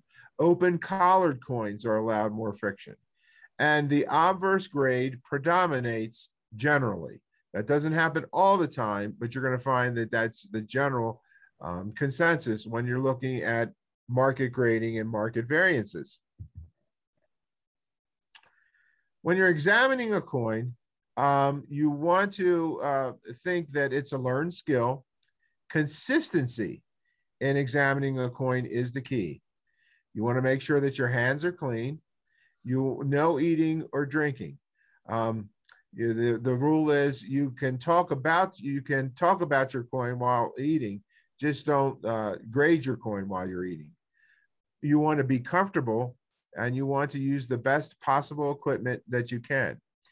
And, and the piece of advice that I give people all the time, and I think this is so important, is that when you're grading a coin, you want to make sure that you know your series. What do I mean by that? Well, there are certain series where there are uh, coins that are uh, in certain times and from certain mints that they're weakly struck. You need to know that. And the reason that you need to know that is so that you don't mistake a coin that is weakly struck as a coin that's showing signs of wear. So the more you know about your particular series that you're collecting and attempting to grade, the more you know, the more accurate uh, your grades most likely will be. Um, you want to get a clear view of, as possible of the coin. Be aware of damage on the holder. So in other words, if you're having to uh, look at a slabbed coin and you want to grade it on your own, be aware that there may be a scratch on the holder um, and that's not on the coin okay? Um, if you want to remove a coin from its holder, only do so with permission. Um, the idea is that if you drop a coin, generally you're going to be asked to buy it. Again, don't talk over a coin. Talk about your coin, not over it. And here's a piece of uh, uh, advice or uh, that I like to give people that really we are numismatic stewards. We never really own coins. We're only fortunate enough to take care of them for a little while. And so, as collectors of coins, what our job is, is to enjoy them. And then when they move on to the next person, make sure that they are in uh, uh, the uh, best care that you could have taken for the coin before it moves on. And, th- and that is our job. the right tools. Um, lighting. Lighting plays a crucial role when you are attempting to grade a coin. There are basically four types of lighting sunlight, fluorescent, halogen, and incandescent. Of the four, the type that you want to use is incandescent. That is the best. The one that is really difficult is sunlight. Um, when you attend a coin show, you will notice that generally the hall is made up of fluorescent lighting. And then dealers tend to have incandescent lamps there at their tables. They're there for a reason. Please make sure that when you're examining a coin that you use the incandescent light. Um, can there be a big change by just uh, relying on fluorescent light? Absolutely. Let me tell you a real quick story. We have a um, uh, uh, we have something for children who come to coin shows called Treasure Trivia, and we have question sheets that we hand out to the children, and they go to predetermined dealers, um, and they ask the dealers a question, they find the answer, and they record the answer down, and then they win some really nice prizes. We we try to do that at all ANA sanctioned shows. Well, we often have um, we use different colors for the question sheets and um, i one year we were in denver and the broncos football team they their colors are blue and orange so we had the question sheet sheets orange and um, when we looked at the question sheets under the fluorescent light um, it was orange, but barely so. And when you went out into the sunlight with that same sheet, it did not look orange at all. It looked more like a goldenrod color. Now, why am I telling you this? I'm telling you this because lighting has a big role to play in how a coin will appear to you. And you might use um, fluorescent or halogen or sunlight and looking at a coin. And when you bring it home and put it under an incandescent bulb, it won't look like the same coin at all.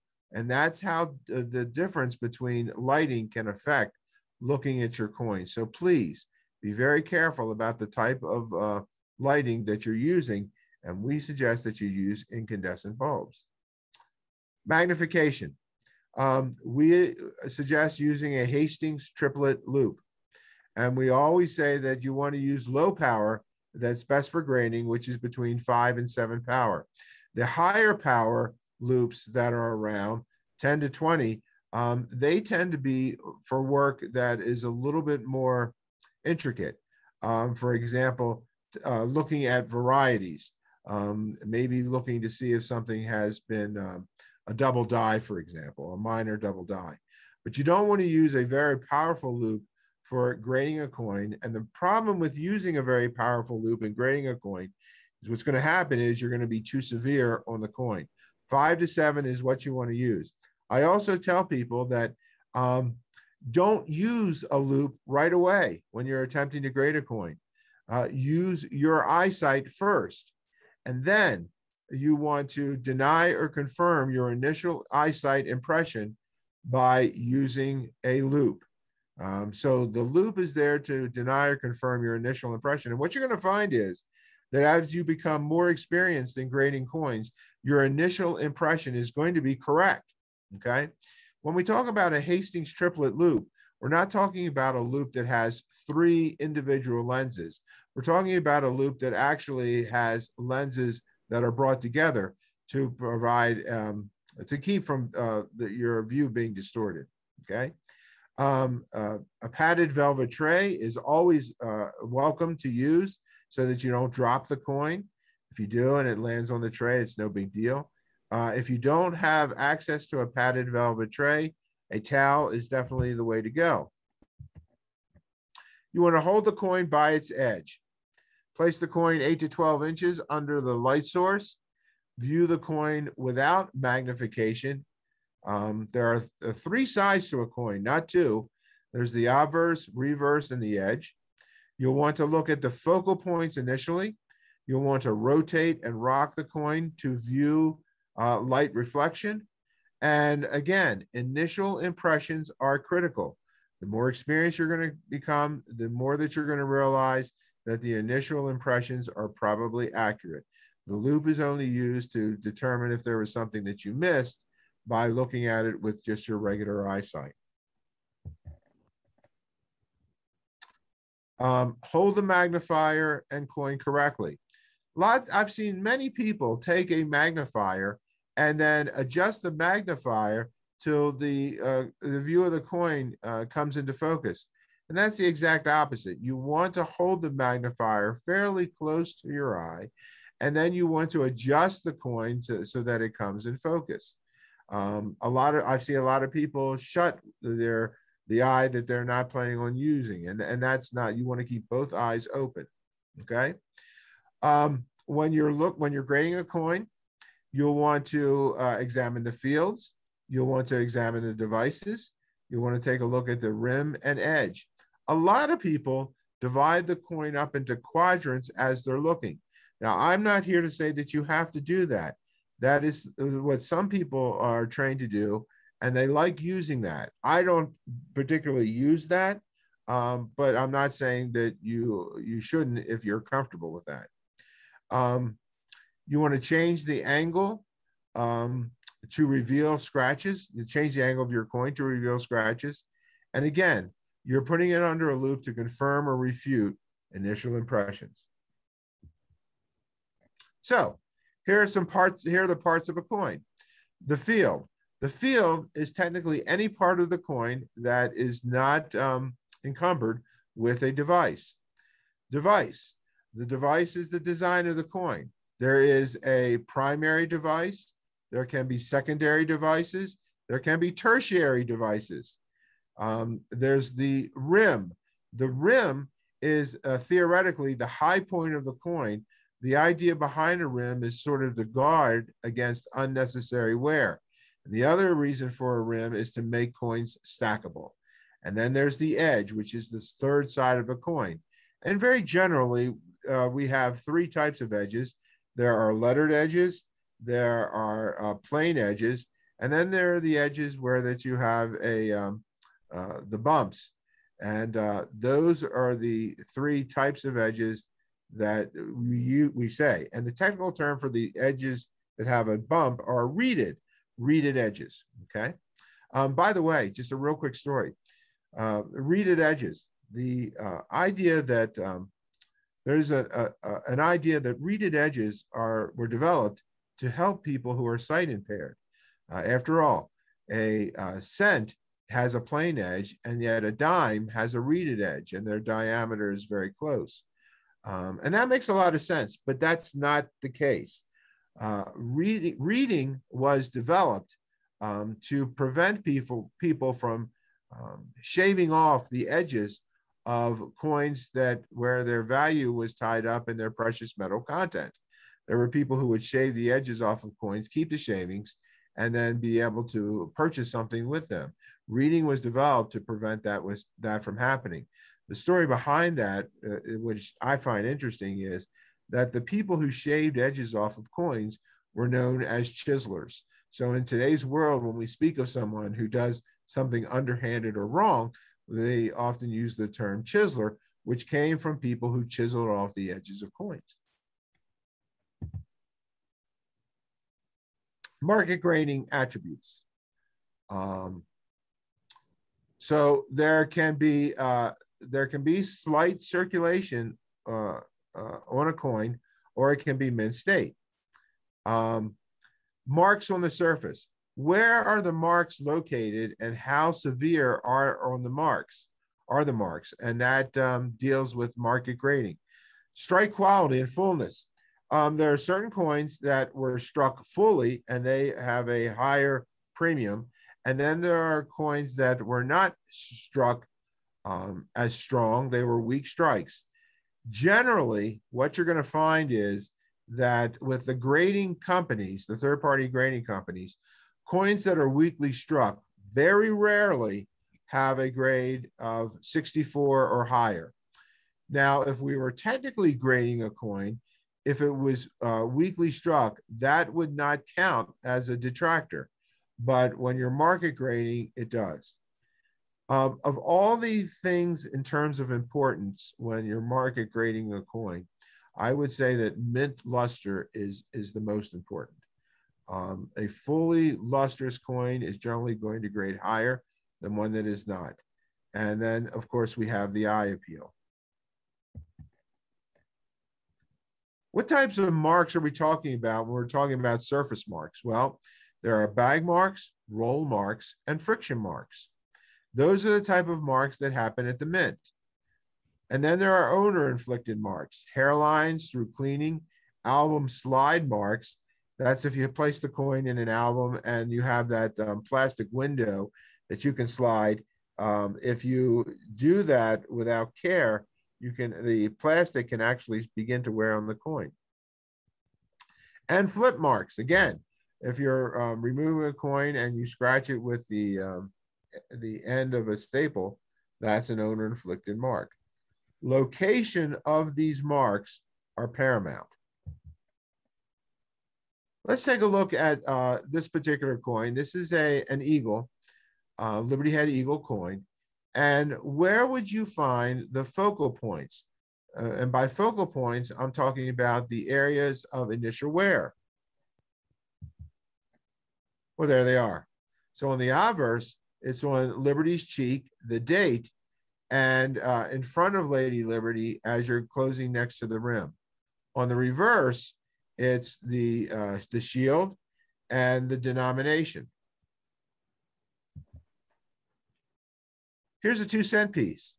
So where are the focal points on a two cent piece? Well, they're right here. They're on, uh, again, the shield, the horizontal lines on the shield, the date, and in on the reverse, it's right in the center of the coin, which happens to be where your fingers, if you were spending the coin, most likely will land. And that's the reason that the two cent area is a focal point.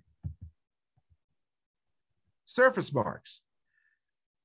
So here's a coin, uh, Morgan dollar. And if you look carefully, you can see that there are some, some marks on the, the on uh, the Morgan dollar, both on the field and on the primary device of Lady Liberty. Bag marks. Um, bag marks are really a misnomer. Um, when we use the term bag marks, people initially use the term to mean uh, marks where the uh, coins would hit each other in the bag. And, um, and, this is not an instance of a bag mark, even though it's termed that. What has happened in this instance is that the uh, a coin uh, has been ejected um, uh, after it has been minted, and it's still warm due to the friction. And another coin has been ejected from the press and it has hit this coin with its edge, which has uh, caused the reeding to um, leave a mark on the coin.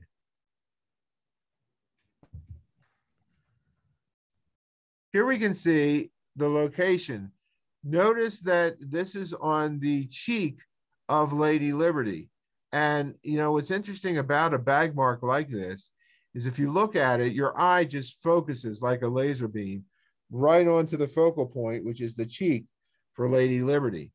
What does this mean? Well, it means generally um, in market grading terms, when this coin uh, is being graded, the fact that there is a detractor or a mark in the focal point means that it is probably going to be graded lower. If we were using technical grading standards, because this happened at the mint, that would be immaterial to its technical grading. Notice here, here's another example where it's pretty apparent. Um, it's on her uh, chin. And again, when you look at this coin, you're going to see that right away. And again, we've moved it to her neck and you can see the reeding there. So if we looked at all four coins, remember, we talked about how location is so important when you're um, determining a detractor or a scratch on the coin. So if we look at these, you would I would suggest to you that the lower right hand is the uh, detractor that counts the least. It's not in an obvious area. It's uh, sort of seven o'clock above the two stars. Your eyes do not focus on it right away, and so it's um, it's something that would not be counted as strongly against. The next one after that would be at the upper left where it is on her neck. Again, you can see that more so than the original one that we just spoke about, on the bottom right. But again, it's it's not as quite as bad. And then the upper right, where it is on her chin, okay, and the the one where the, the detractor is the strongest would be the lower left, where it's right at the focal point on her cheek. Friction on gold. So as we mentioned, gold is a rather soft metal. And uh, on the St. Gaudens, which is a very high relief coin, um, you can have rub or friction very easily. Where do you find it? Right here. On the obverse, you'll find it on uh, Lady Liberty's knee and on her breast. And on the reverse, you'll find it on the eagle's breast. And you'll also find it at the area of the wing. Um, you can also find it on the tips of the wing on the right-hand side, even though I didn't circle that. Friction on silver. Again, silver is a slightly harder metal than gold. Um, so it's going to get a little bit, um, it's going to be graded a little bit more conservatively generally than gold coins are.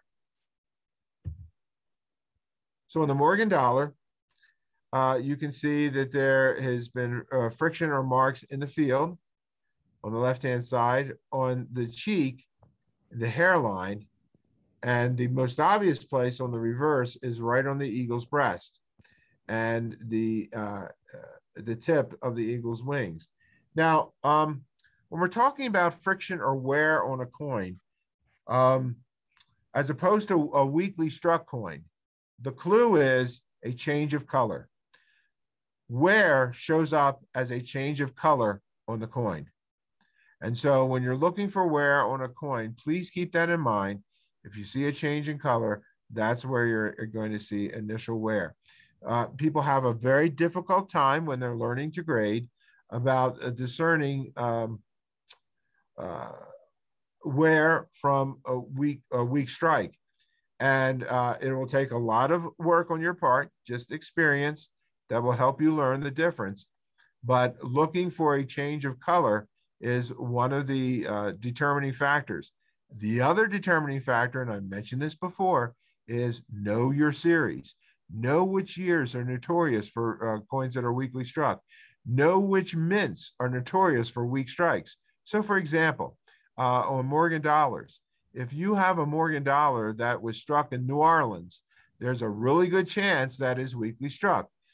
You may ask, why is that happening? Why do people, why do the mentors in New Orleans weren't weren't they any good? What did they do wrong? Well, the idea is that it was very hard and the, the New Orleans Mint to get fresh dies. And so they realized that if they reduced the pressure on the dies, the dies would last longer. Therefore, they would um, uh, be able to make more coins with a particular pair of dies. And that's the reason behind it. Luster. Luster is so important for mint state through AU grades. Uh, however, luster can even be found, rarely, but can be found on a few um, very fine pieces. There are several types of luster, and it depends on the die preparation, and it also de decides on the um, the uh, variety uh, of the die use. Um, and it's all luster is all a result of metal flow. Pardon me. Um, and what I that's really important. What I'm trying trying to say is that luster can only be created at the mint and it cannot be created anywhere else. So there's proof-like luster, and I don't really like that term. I know what they mean by proof-like. Um, I don't like it because uh, I, I, I, don't like the idea of, since um, a proof is a method of manufacturing, I'm kind of uneasy with that, but it's okay. Um, there's semi-proof-like, there's frosty, there's satin, and then there's flat luster. Here's how luster is created. When a die is brought into a minting press and the um, lower die, the anvil die, and the upper die uh, provide pressure, they provide a great amount of pressure, so much so that metal actually flows from the center out. And then almost instantaneously after the um, the dies uh, release their pressure, the metal flows back in. This metal flow of going out and then coming back in is what creates luster. And that's why I'm telling you that the only way luster can be created is at the mint, nowhere else. Here's an example of what luster looks like. This is a highly magnified Lincoln cent. And you can see that there seems to be some ridges, um, some mountain tops and valleys. And that's basically what luster is. Um, it's a reflection off of the mountaintops and valleys. What happens is as a coin wears, uh, the valleys, I mean, I'm sorry, the mountains become less pronounced and they fold into the valleys and then luster is lost. Here's something important that you want to know.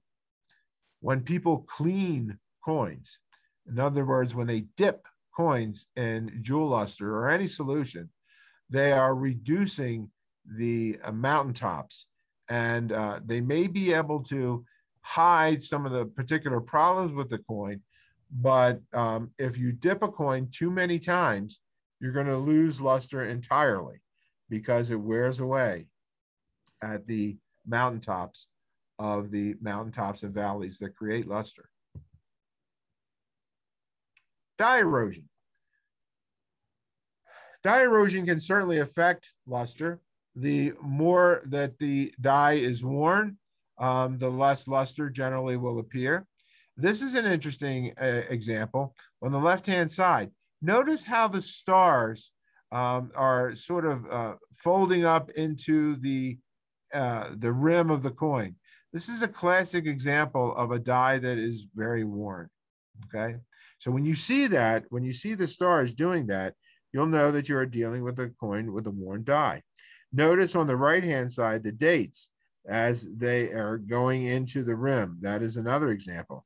This coin is particularly interesting because not only is it worn dies, but it also sees a die clash. Do you see the letters underneath the neck of Lady Liberty above the eight and the one? That's from a die clash. So what has happened is that there's an example of a um, time when the dies hit one another because there was no planchet um, in the minting press at the time that the dies were activated.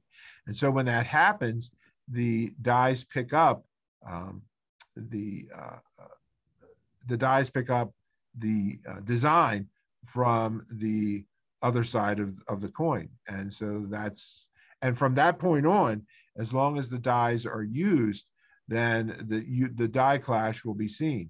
We get so many people who contact us and, and talk about something like this and say, well, I, I have something unique and they talk about a die clash. Well, that's not true because uh, unless, of course, that the die clash happened before the very last coin from a particular pair of dies were minted, which is probably not the case.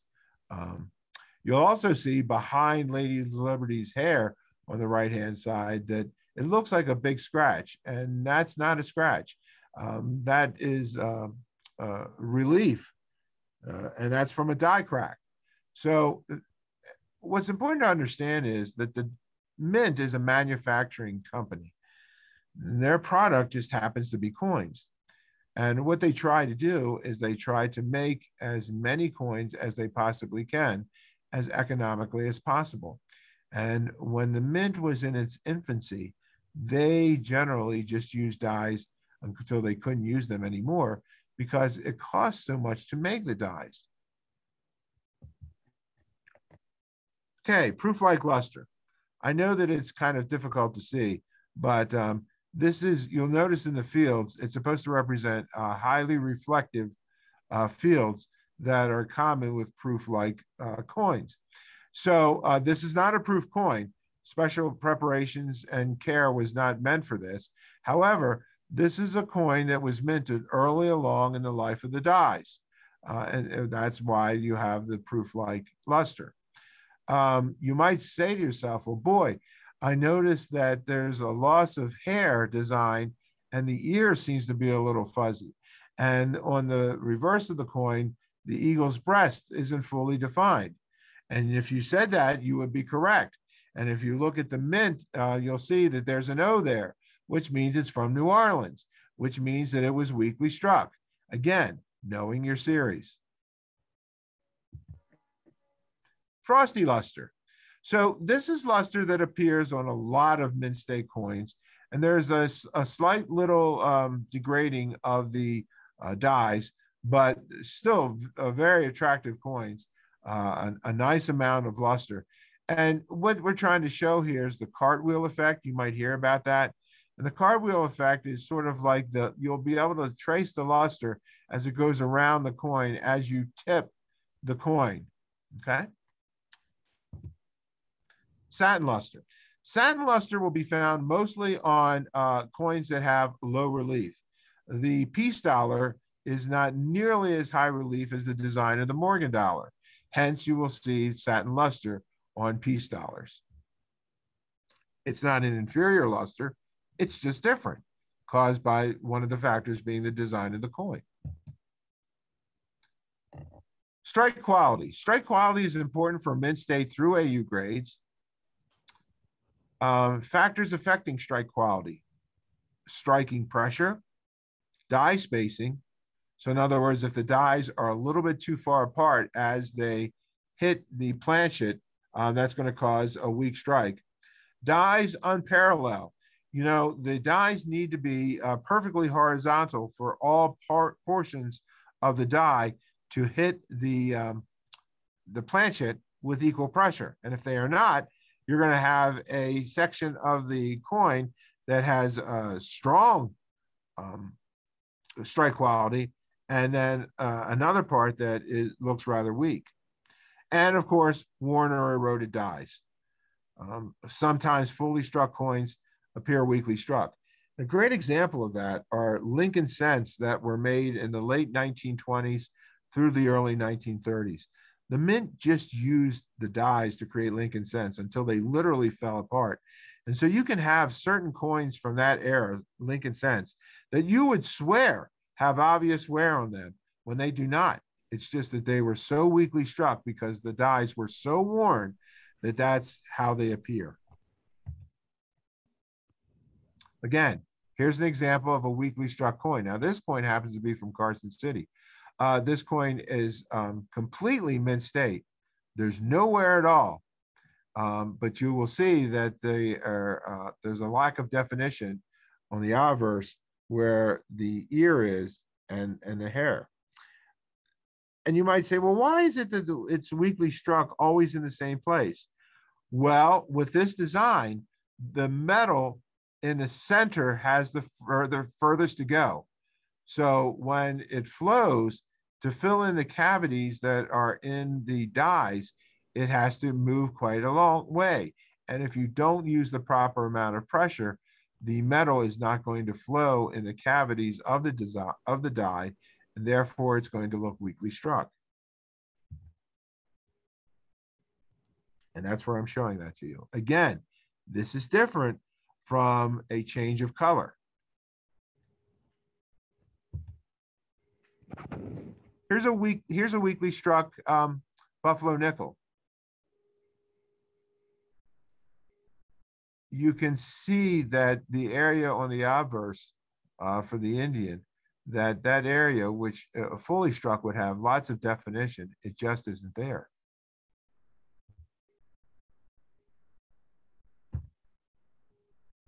Here's a well struck as comparison uh, buffalo nickel, and I'll go back there's the weakly strike. And there's the full strike. Hopefully you can see the difference is, is quite, um, there's quite a difference between the two. So there are certain coins where the design has uh, full strike designations, full, full and split bands on Mercury dimes, full bell lines on Franklin halves, full head on standing Liberty quarters, um, full steps on Jefferson nickels, and full torch on Roosevelt dimes. Here's the here are the full uh, split bands on the um, on the Mercury dime. It's right in the center. Uh, the bands on the fasces. Um, I like to tell people that imagine that you're in a boat and you have to sail from one end uh, to the other. if there are any impediments that prevent you from sailing from one end to the other, then they are not split bands. Okay. People often ask, well, what about the top bands and the bottom bands? I can assure you that if the center bands are fully split, the bottom and top will be as well.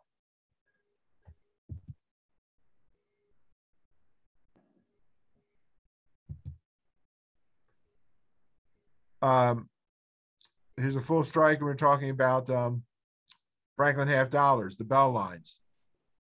Uh, there need to be continuations of the lines going across the bell. If there are not, it's not considered full bell lines. Oh boy, that didn't come out. Um, so this is, this should have been a, an example of the um, standing liberty quarter there for standing liberty quarter to be fully struck there need to be several things number one there needs to be uh, the hairline needs to be filled uh, there's an ear hole that needs to be there and the um, braids uh, need to be there as well for lady liberty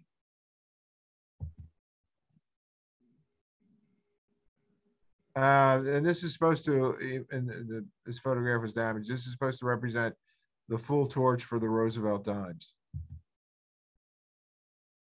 eye appeal. Most variable attribute.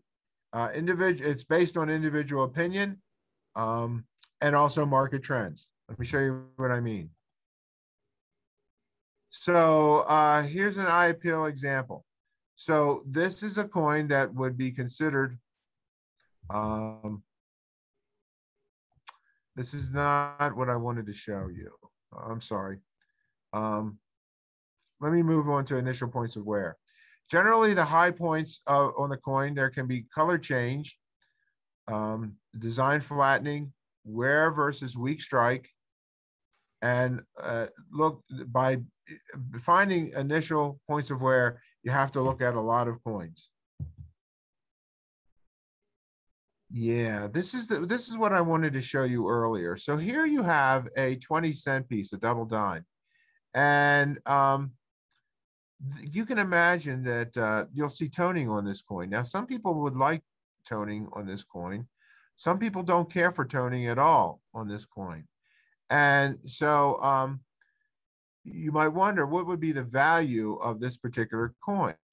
Well, the value of that particular coin depends on uh, who likes toning. And if you're in an auction, only two people need to like toning for the value of this coin to go up. Now, when this coin was sold at auction, it actually sold for much more than its original value, estimated value, uh, because there were people who enjoyed toning so much. If there was no one in the audience who liked the toning, it, it would have sold for significantly less. Um, does toning occur in slabs? And the answer is yes. Um, Here's an example of a coin that has tone in the slab. Notice that the label says it is MS63, 100% white. And if you look at the look at the coin carefully, you can see the progression of how that coin has toned over time. And, and we know that it has toned while it was in the holder because the label indicates that it was 100% white. If it looked like that, they probably wouldn't have labeled it as such.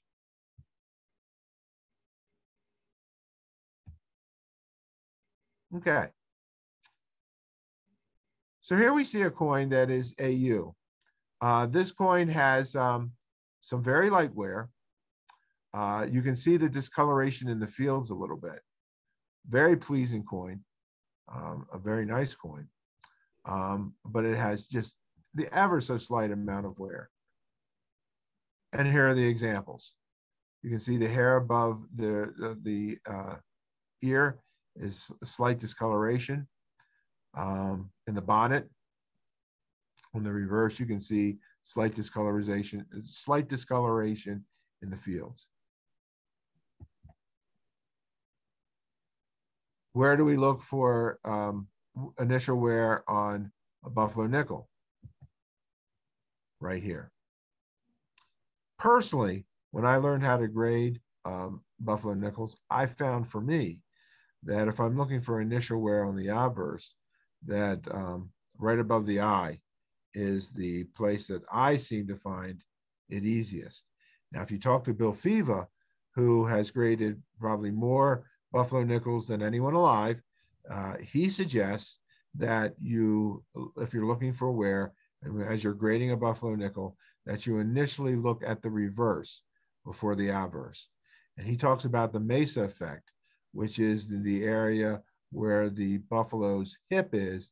And uh, uh, you, if you see the indentation there, that helps uh, know that that helps to let you know that the coin is not showing anywhere. If it's flat at that area, um, like a mesa, then that uh, shows wear on the coin. Where would we find initial wear or discoloration on, on the $20 Liberty head? Here.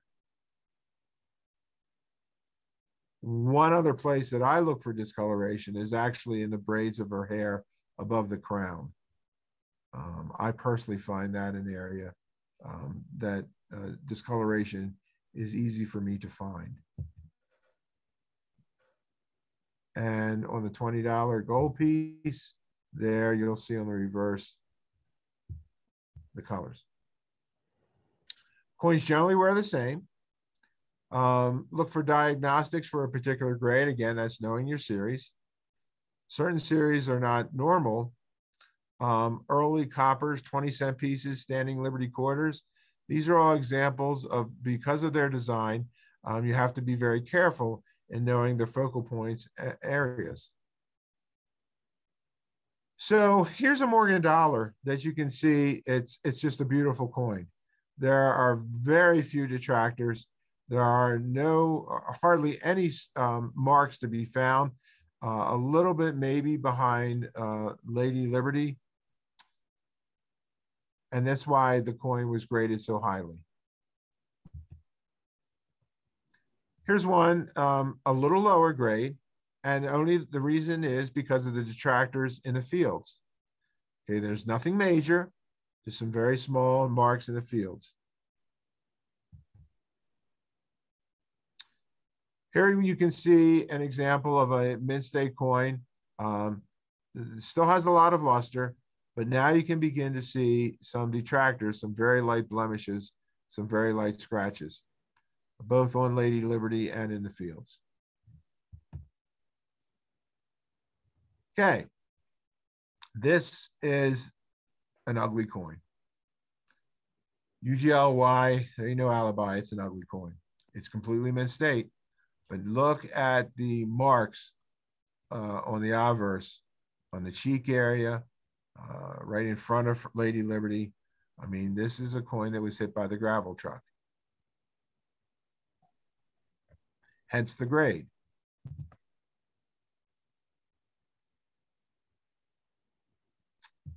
Uh, okay, here's an EF coin.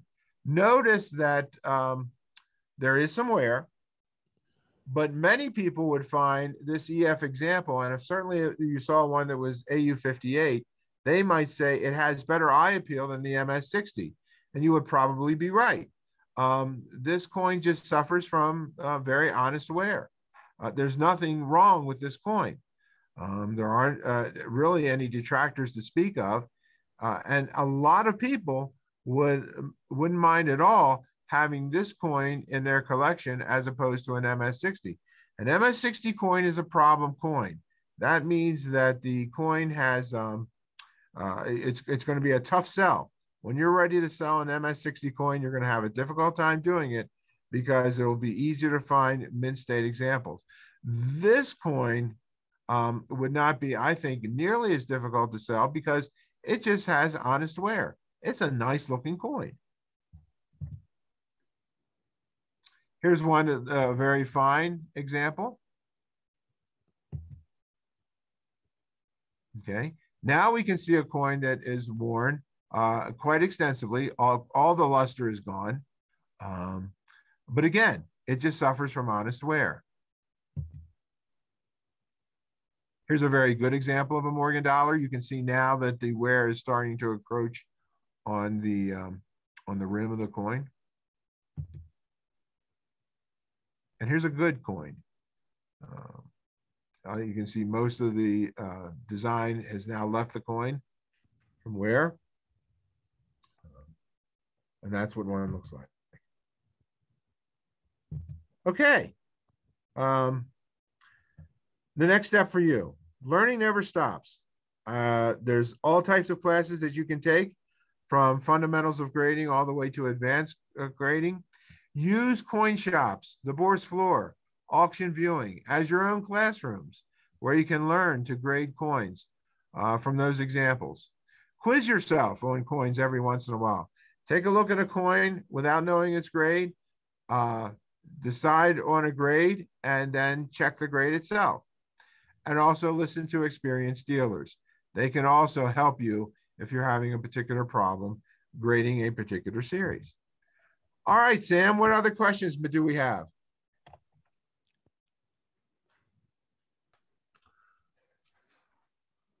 Okay. So, uh, Rod, if you want to uh, click uh, uh, end share, that yep. way uh. Yep. Just give me one quick second. I'll have it right done. Sure. Okay. So yeah, we had some other questions about coin storage, but it's kind of getting us off topic, and uh, we've got about two dozen questions, and we're already about uh, I know. Uh, I'm. I apologize. Over. But um, so let's see. Yeah, we did kind of address. Uh, one person was asking about different grading standards for uh, ancient coins. I think uh, Ken addressed that earlier. Uh, we spoke about how some coins could be struck crudely, but they'd still be considered mint state. So we can kind of skip that. Uh, one person does ask, what does staining or carbon spots or even cleaning uh, do to grading systems and why are they not described? Um, that's kind of a trickier question. I guess they're trying to figure out how uh, staining and carbon spots, how that affects grading. Did you want to speak about that, Ken? Well, I, I think it affects the uh, market value. Um, it's just one of those things that uh, can't be controlled, um, and it can't can't be altered or changed or cleaned if they have carbon spots. Um, but it but it does affect the eye appeal and generally lowers the uh, the grade of a coin. Let's see. Um, see. Oh, here's a YN from Encino named Walter. Uh, he has a question. It says, "It seems to me that the overall grading of the two types of U.S. three cent coins has seen a lot of changes, especially in the last ten years, from the grading services and collectors. Any thoughts as to why price values have increased too?" Yes, uh, the gradings of the uh, three cent nickel and three cent silver uh, has seen a lot of changes, especially in the last ten years. Hmm. Any uh, any thoughts on that, gentlemen? Or? Well, people, go ahead, Ken. I'm sorry. Well, I think uh, I think dealers, especially, uh, become more, more conscious of the grade and grade more more specifically as the value of a coin goes up. In those cases, those the market and demand for those coins has increased, and uh, and therefore um, grading becomes, I guess, more more um, of a consideration because you're trying to price it. Uh, I remember buying a two cent coin, and early on, uh, I was uh, I was offered by a dealer um, my choice of two two cent pieces. One was uh, what today you would call uh, um, a nice uncirculated red unc, and the other one uh, quite probably two grades higher because it was very, very choice. And uh, the difference in price was, uh, I think, like a dollar. Like one was one dollar, the other was two dollars, uh, and nobody cared much about grading then. Now, when there's a vast uh, um, difference in pricing between grades, um, then then we become more specific about the grade. The one thing I can say about the trimes or the silver three cent pieces is because, as far as I know, um, they were the smallest coins that were ever minted um, by the U.S. Mint, and with those, um, they're so thin that one of the considerations for trimes are that they are not bent. A lot of people carry them in their pocket, and they would just bend naturally um, over time. And so uh, it's interesting about trimes that one of the considerations in grading those coins is whether they are true, meaning whether they are, are, are flat and not bent in, in any shape or form. Huh. Oh, here's a good question. Uh, is there an eighth edition of the ANA grading standards book in the works? Ooh. Not to my knowledge. Let's see. Uh, one person asks, uh, does the numerical grading system apply to currency as well? Uh, I guess they mean the Sheldon system, and I think uh, they do use the Sheldon system for uh, uh, the numeric grades of paper. Yes. Um, oh, here's an interesting question. Uh, why is G6 and F15 not included in the book uh, uh, in the seventh edition of uh, grading standards? Hmm. G6 and F15 are not included in the grading standard in the seventh edition. Um, maybe they're just not all highlighted. I guess I'm not sure. Uh, I don't know how to answer that one. I'll have to look up the, I'll have to use my book to see, um, to confirm that. And of course, as time goes on, more and more like it, it Well, just there- really seems how the market yeah. goes. Intermediate grades have been added over the years. F15 was not recognized until re- quite recently, although uh, I always felt it was a true grade. Uh, I could I could spot a F um, 15, but um, those things kind of change over the years. Nice. Oh, interesting question. Uh, how does toning affect the grading of coins? Uh, uh, I can- appeal. I can talk about that for a minute. Um, so um, there was a time in the 80s and early 90s when just toning was really frowned upon. Uh, people liked their coins blazing white, and they, if their coin was toned, they would often dip it to so that it wouldn't uh, it wouldn't appear to have any toning. Um, as a matter of fact, I contend, and I don't know whether Ken would agree with this or not, but I contend that there are very few Morgan dollars, for example, that have their original skin. Their, their most Morgan dollars at some point in their life, somewhere along the line, have uh, most likely been dipped. With that being said, um, the the it has turned a little bit, and the toning has become a little bit more popular than it was in the 80s and 90s. And uh, I, I had an example, um, and Sam actually can bear this out. Uh, I had a Franklin half dollar that was really nicely toned. And I said to Sam uh, before I sent it off to one of the grading companies, I said, um, This is a 63 coin, but because of the toning and its attractiveness, it's going to come back as a 64. And sure enough, it came back as a 64. Now, whether they graded it as a 64 because of what I said, um, that can be open to debate. But I will contend that they graded it a little bit higher. They gave an extra point because of the attractive toning. So, what has happened in uh, the grading, or I'm sorry, the numismatic society, is that uh, toning has become uh, attractive to uh, the grading companies. And if it's very attractively toned, uh, I contend that they will often bump it up a little bit. Now, the danger in tone coins when you're grading is that it's very important that you learn to look beneath the toning of a coin to see if there is any hidden damage that the toning is hiding. And so when you're learning to grade, please make sure that when you encounter a tone coin that you pay extra special attention to it because you want to make sure that there's no wear or any kind of damage beneath the toning. Uh, Ken, did you want to add anything to that? When we were doing the survey for the first edition of the ANA grading guide and trying to figure out what was proper and how we should define these terms, um, toning was frowned upon. And uh, most people wanted what we call today white coins. And but we figured if we used that as a standard for uh, the ANA gradings uh, descriptions, that uh, everybody would dip their coins. We did not want people to dip their coins.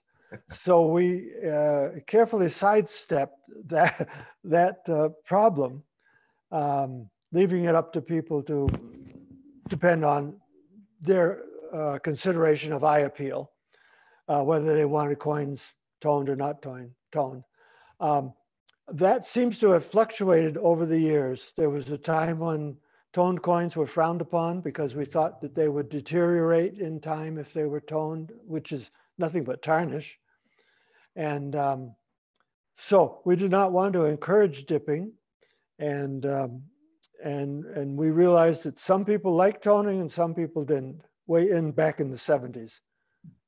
Today, I guess um, nicely toned coins bring a pre premium because uh, they've been marketed that way.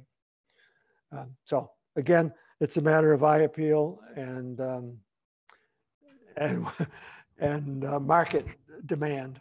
Sure. Well, in the interest of time, uh, I think we could uh, really field uh, one more, um, and I think this is a good one because uh, uh, I know you have a new book coming out, Ken. If you want to speak about that in a moment, that's fine. But uh, question here for you, Ken says, which edition of the Red Book do you feel is most memorable to you? Oh my goodness, what a question. Um, well, about about two years back, uh, when I announced my retirement, um, Whitman put a um, uh, an image of me on the back of the book, and and I was I was very pleased and proud of that. I didn't know it was going to happen that way, and uh, when I got the book and saw that, uh, it pleased me very much, and that's that's the memorable one, I guess. Nice. Uh, as far as talking about my latest uh, book is called um, A Penny Saved. It's uh, really a re- um, retrospective uh, um, story about the beginning of the Blue Book and the Red Book and the life of R.S. Yeoman. Uh, I knew the man very well, worked for him for many, many years, worked with him. Um, and uh, our, our careers were blended for quite a while. So it's my memories of Yeoman and uh, how these books came to be. And uh, I'm very proud of that book. I, I, spent the last year working on it. And uh, it's supposed to be um, released uh, sometime next month. So I hope you all look for it. Sam, can I just can I just close with a, a real quick statement? Um, I, I, I want to tell everybody what um, how much fun and how honored I am to have been able to work with Ken. Um, Ken is uh, unfortunate. A, a uh, I count him as a very good friend of mine, and uh, he's certainly an icon within the industry. And um, I, I just want to say that it's it's always a, a real pleasure for me to work with Ken because I always learn something new uh, when I hear him speak. And the the, the uh, stories that he told today, uh, especially about Brown and Dunn, and um, uh, is, is, stuff that was new to me and and I find very interesting. And the final thing that I want to say is that what um, makes Ken so very special is that even though Ken is so advanced in the hobby and knows so much, that I've never seen someone come to Ken with a numismatic question with Ken saying, I just don't have time for you, or I or that's not a question I want to answer. He's always availed himself to everyone. And for me, that would that is what makes him a true icon within the industry. Ken Bressett, Bill Fivaz, they're cut from the same mold. These are people who give back to the hobby on a consistent basis. And uh, I, I just uh, celebrate them because they're so very special. Thank you. Thank you, Rod. Well, folks, thank you uh, again to, uh, of course, Ken Bressett, Rod Gillis for a phenomenal educational presentation. I uh, hope everyone enjoyed it and learned a, a couple things today, I hope. Um, again, we want to thank Greysheet for their partnership with the ANA e-learning academy. Uh, we hope you will join us for our future webinars. Please check the ANA website, money.org, uh, for more information under the events and webinars heading. Have a wonderful rest of your day and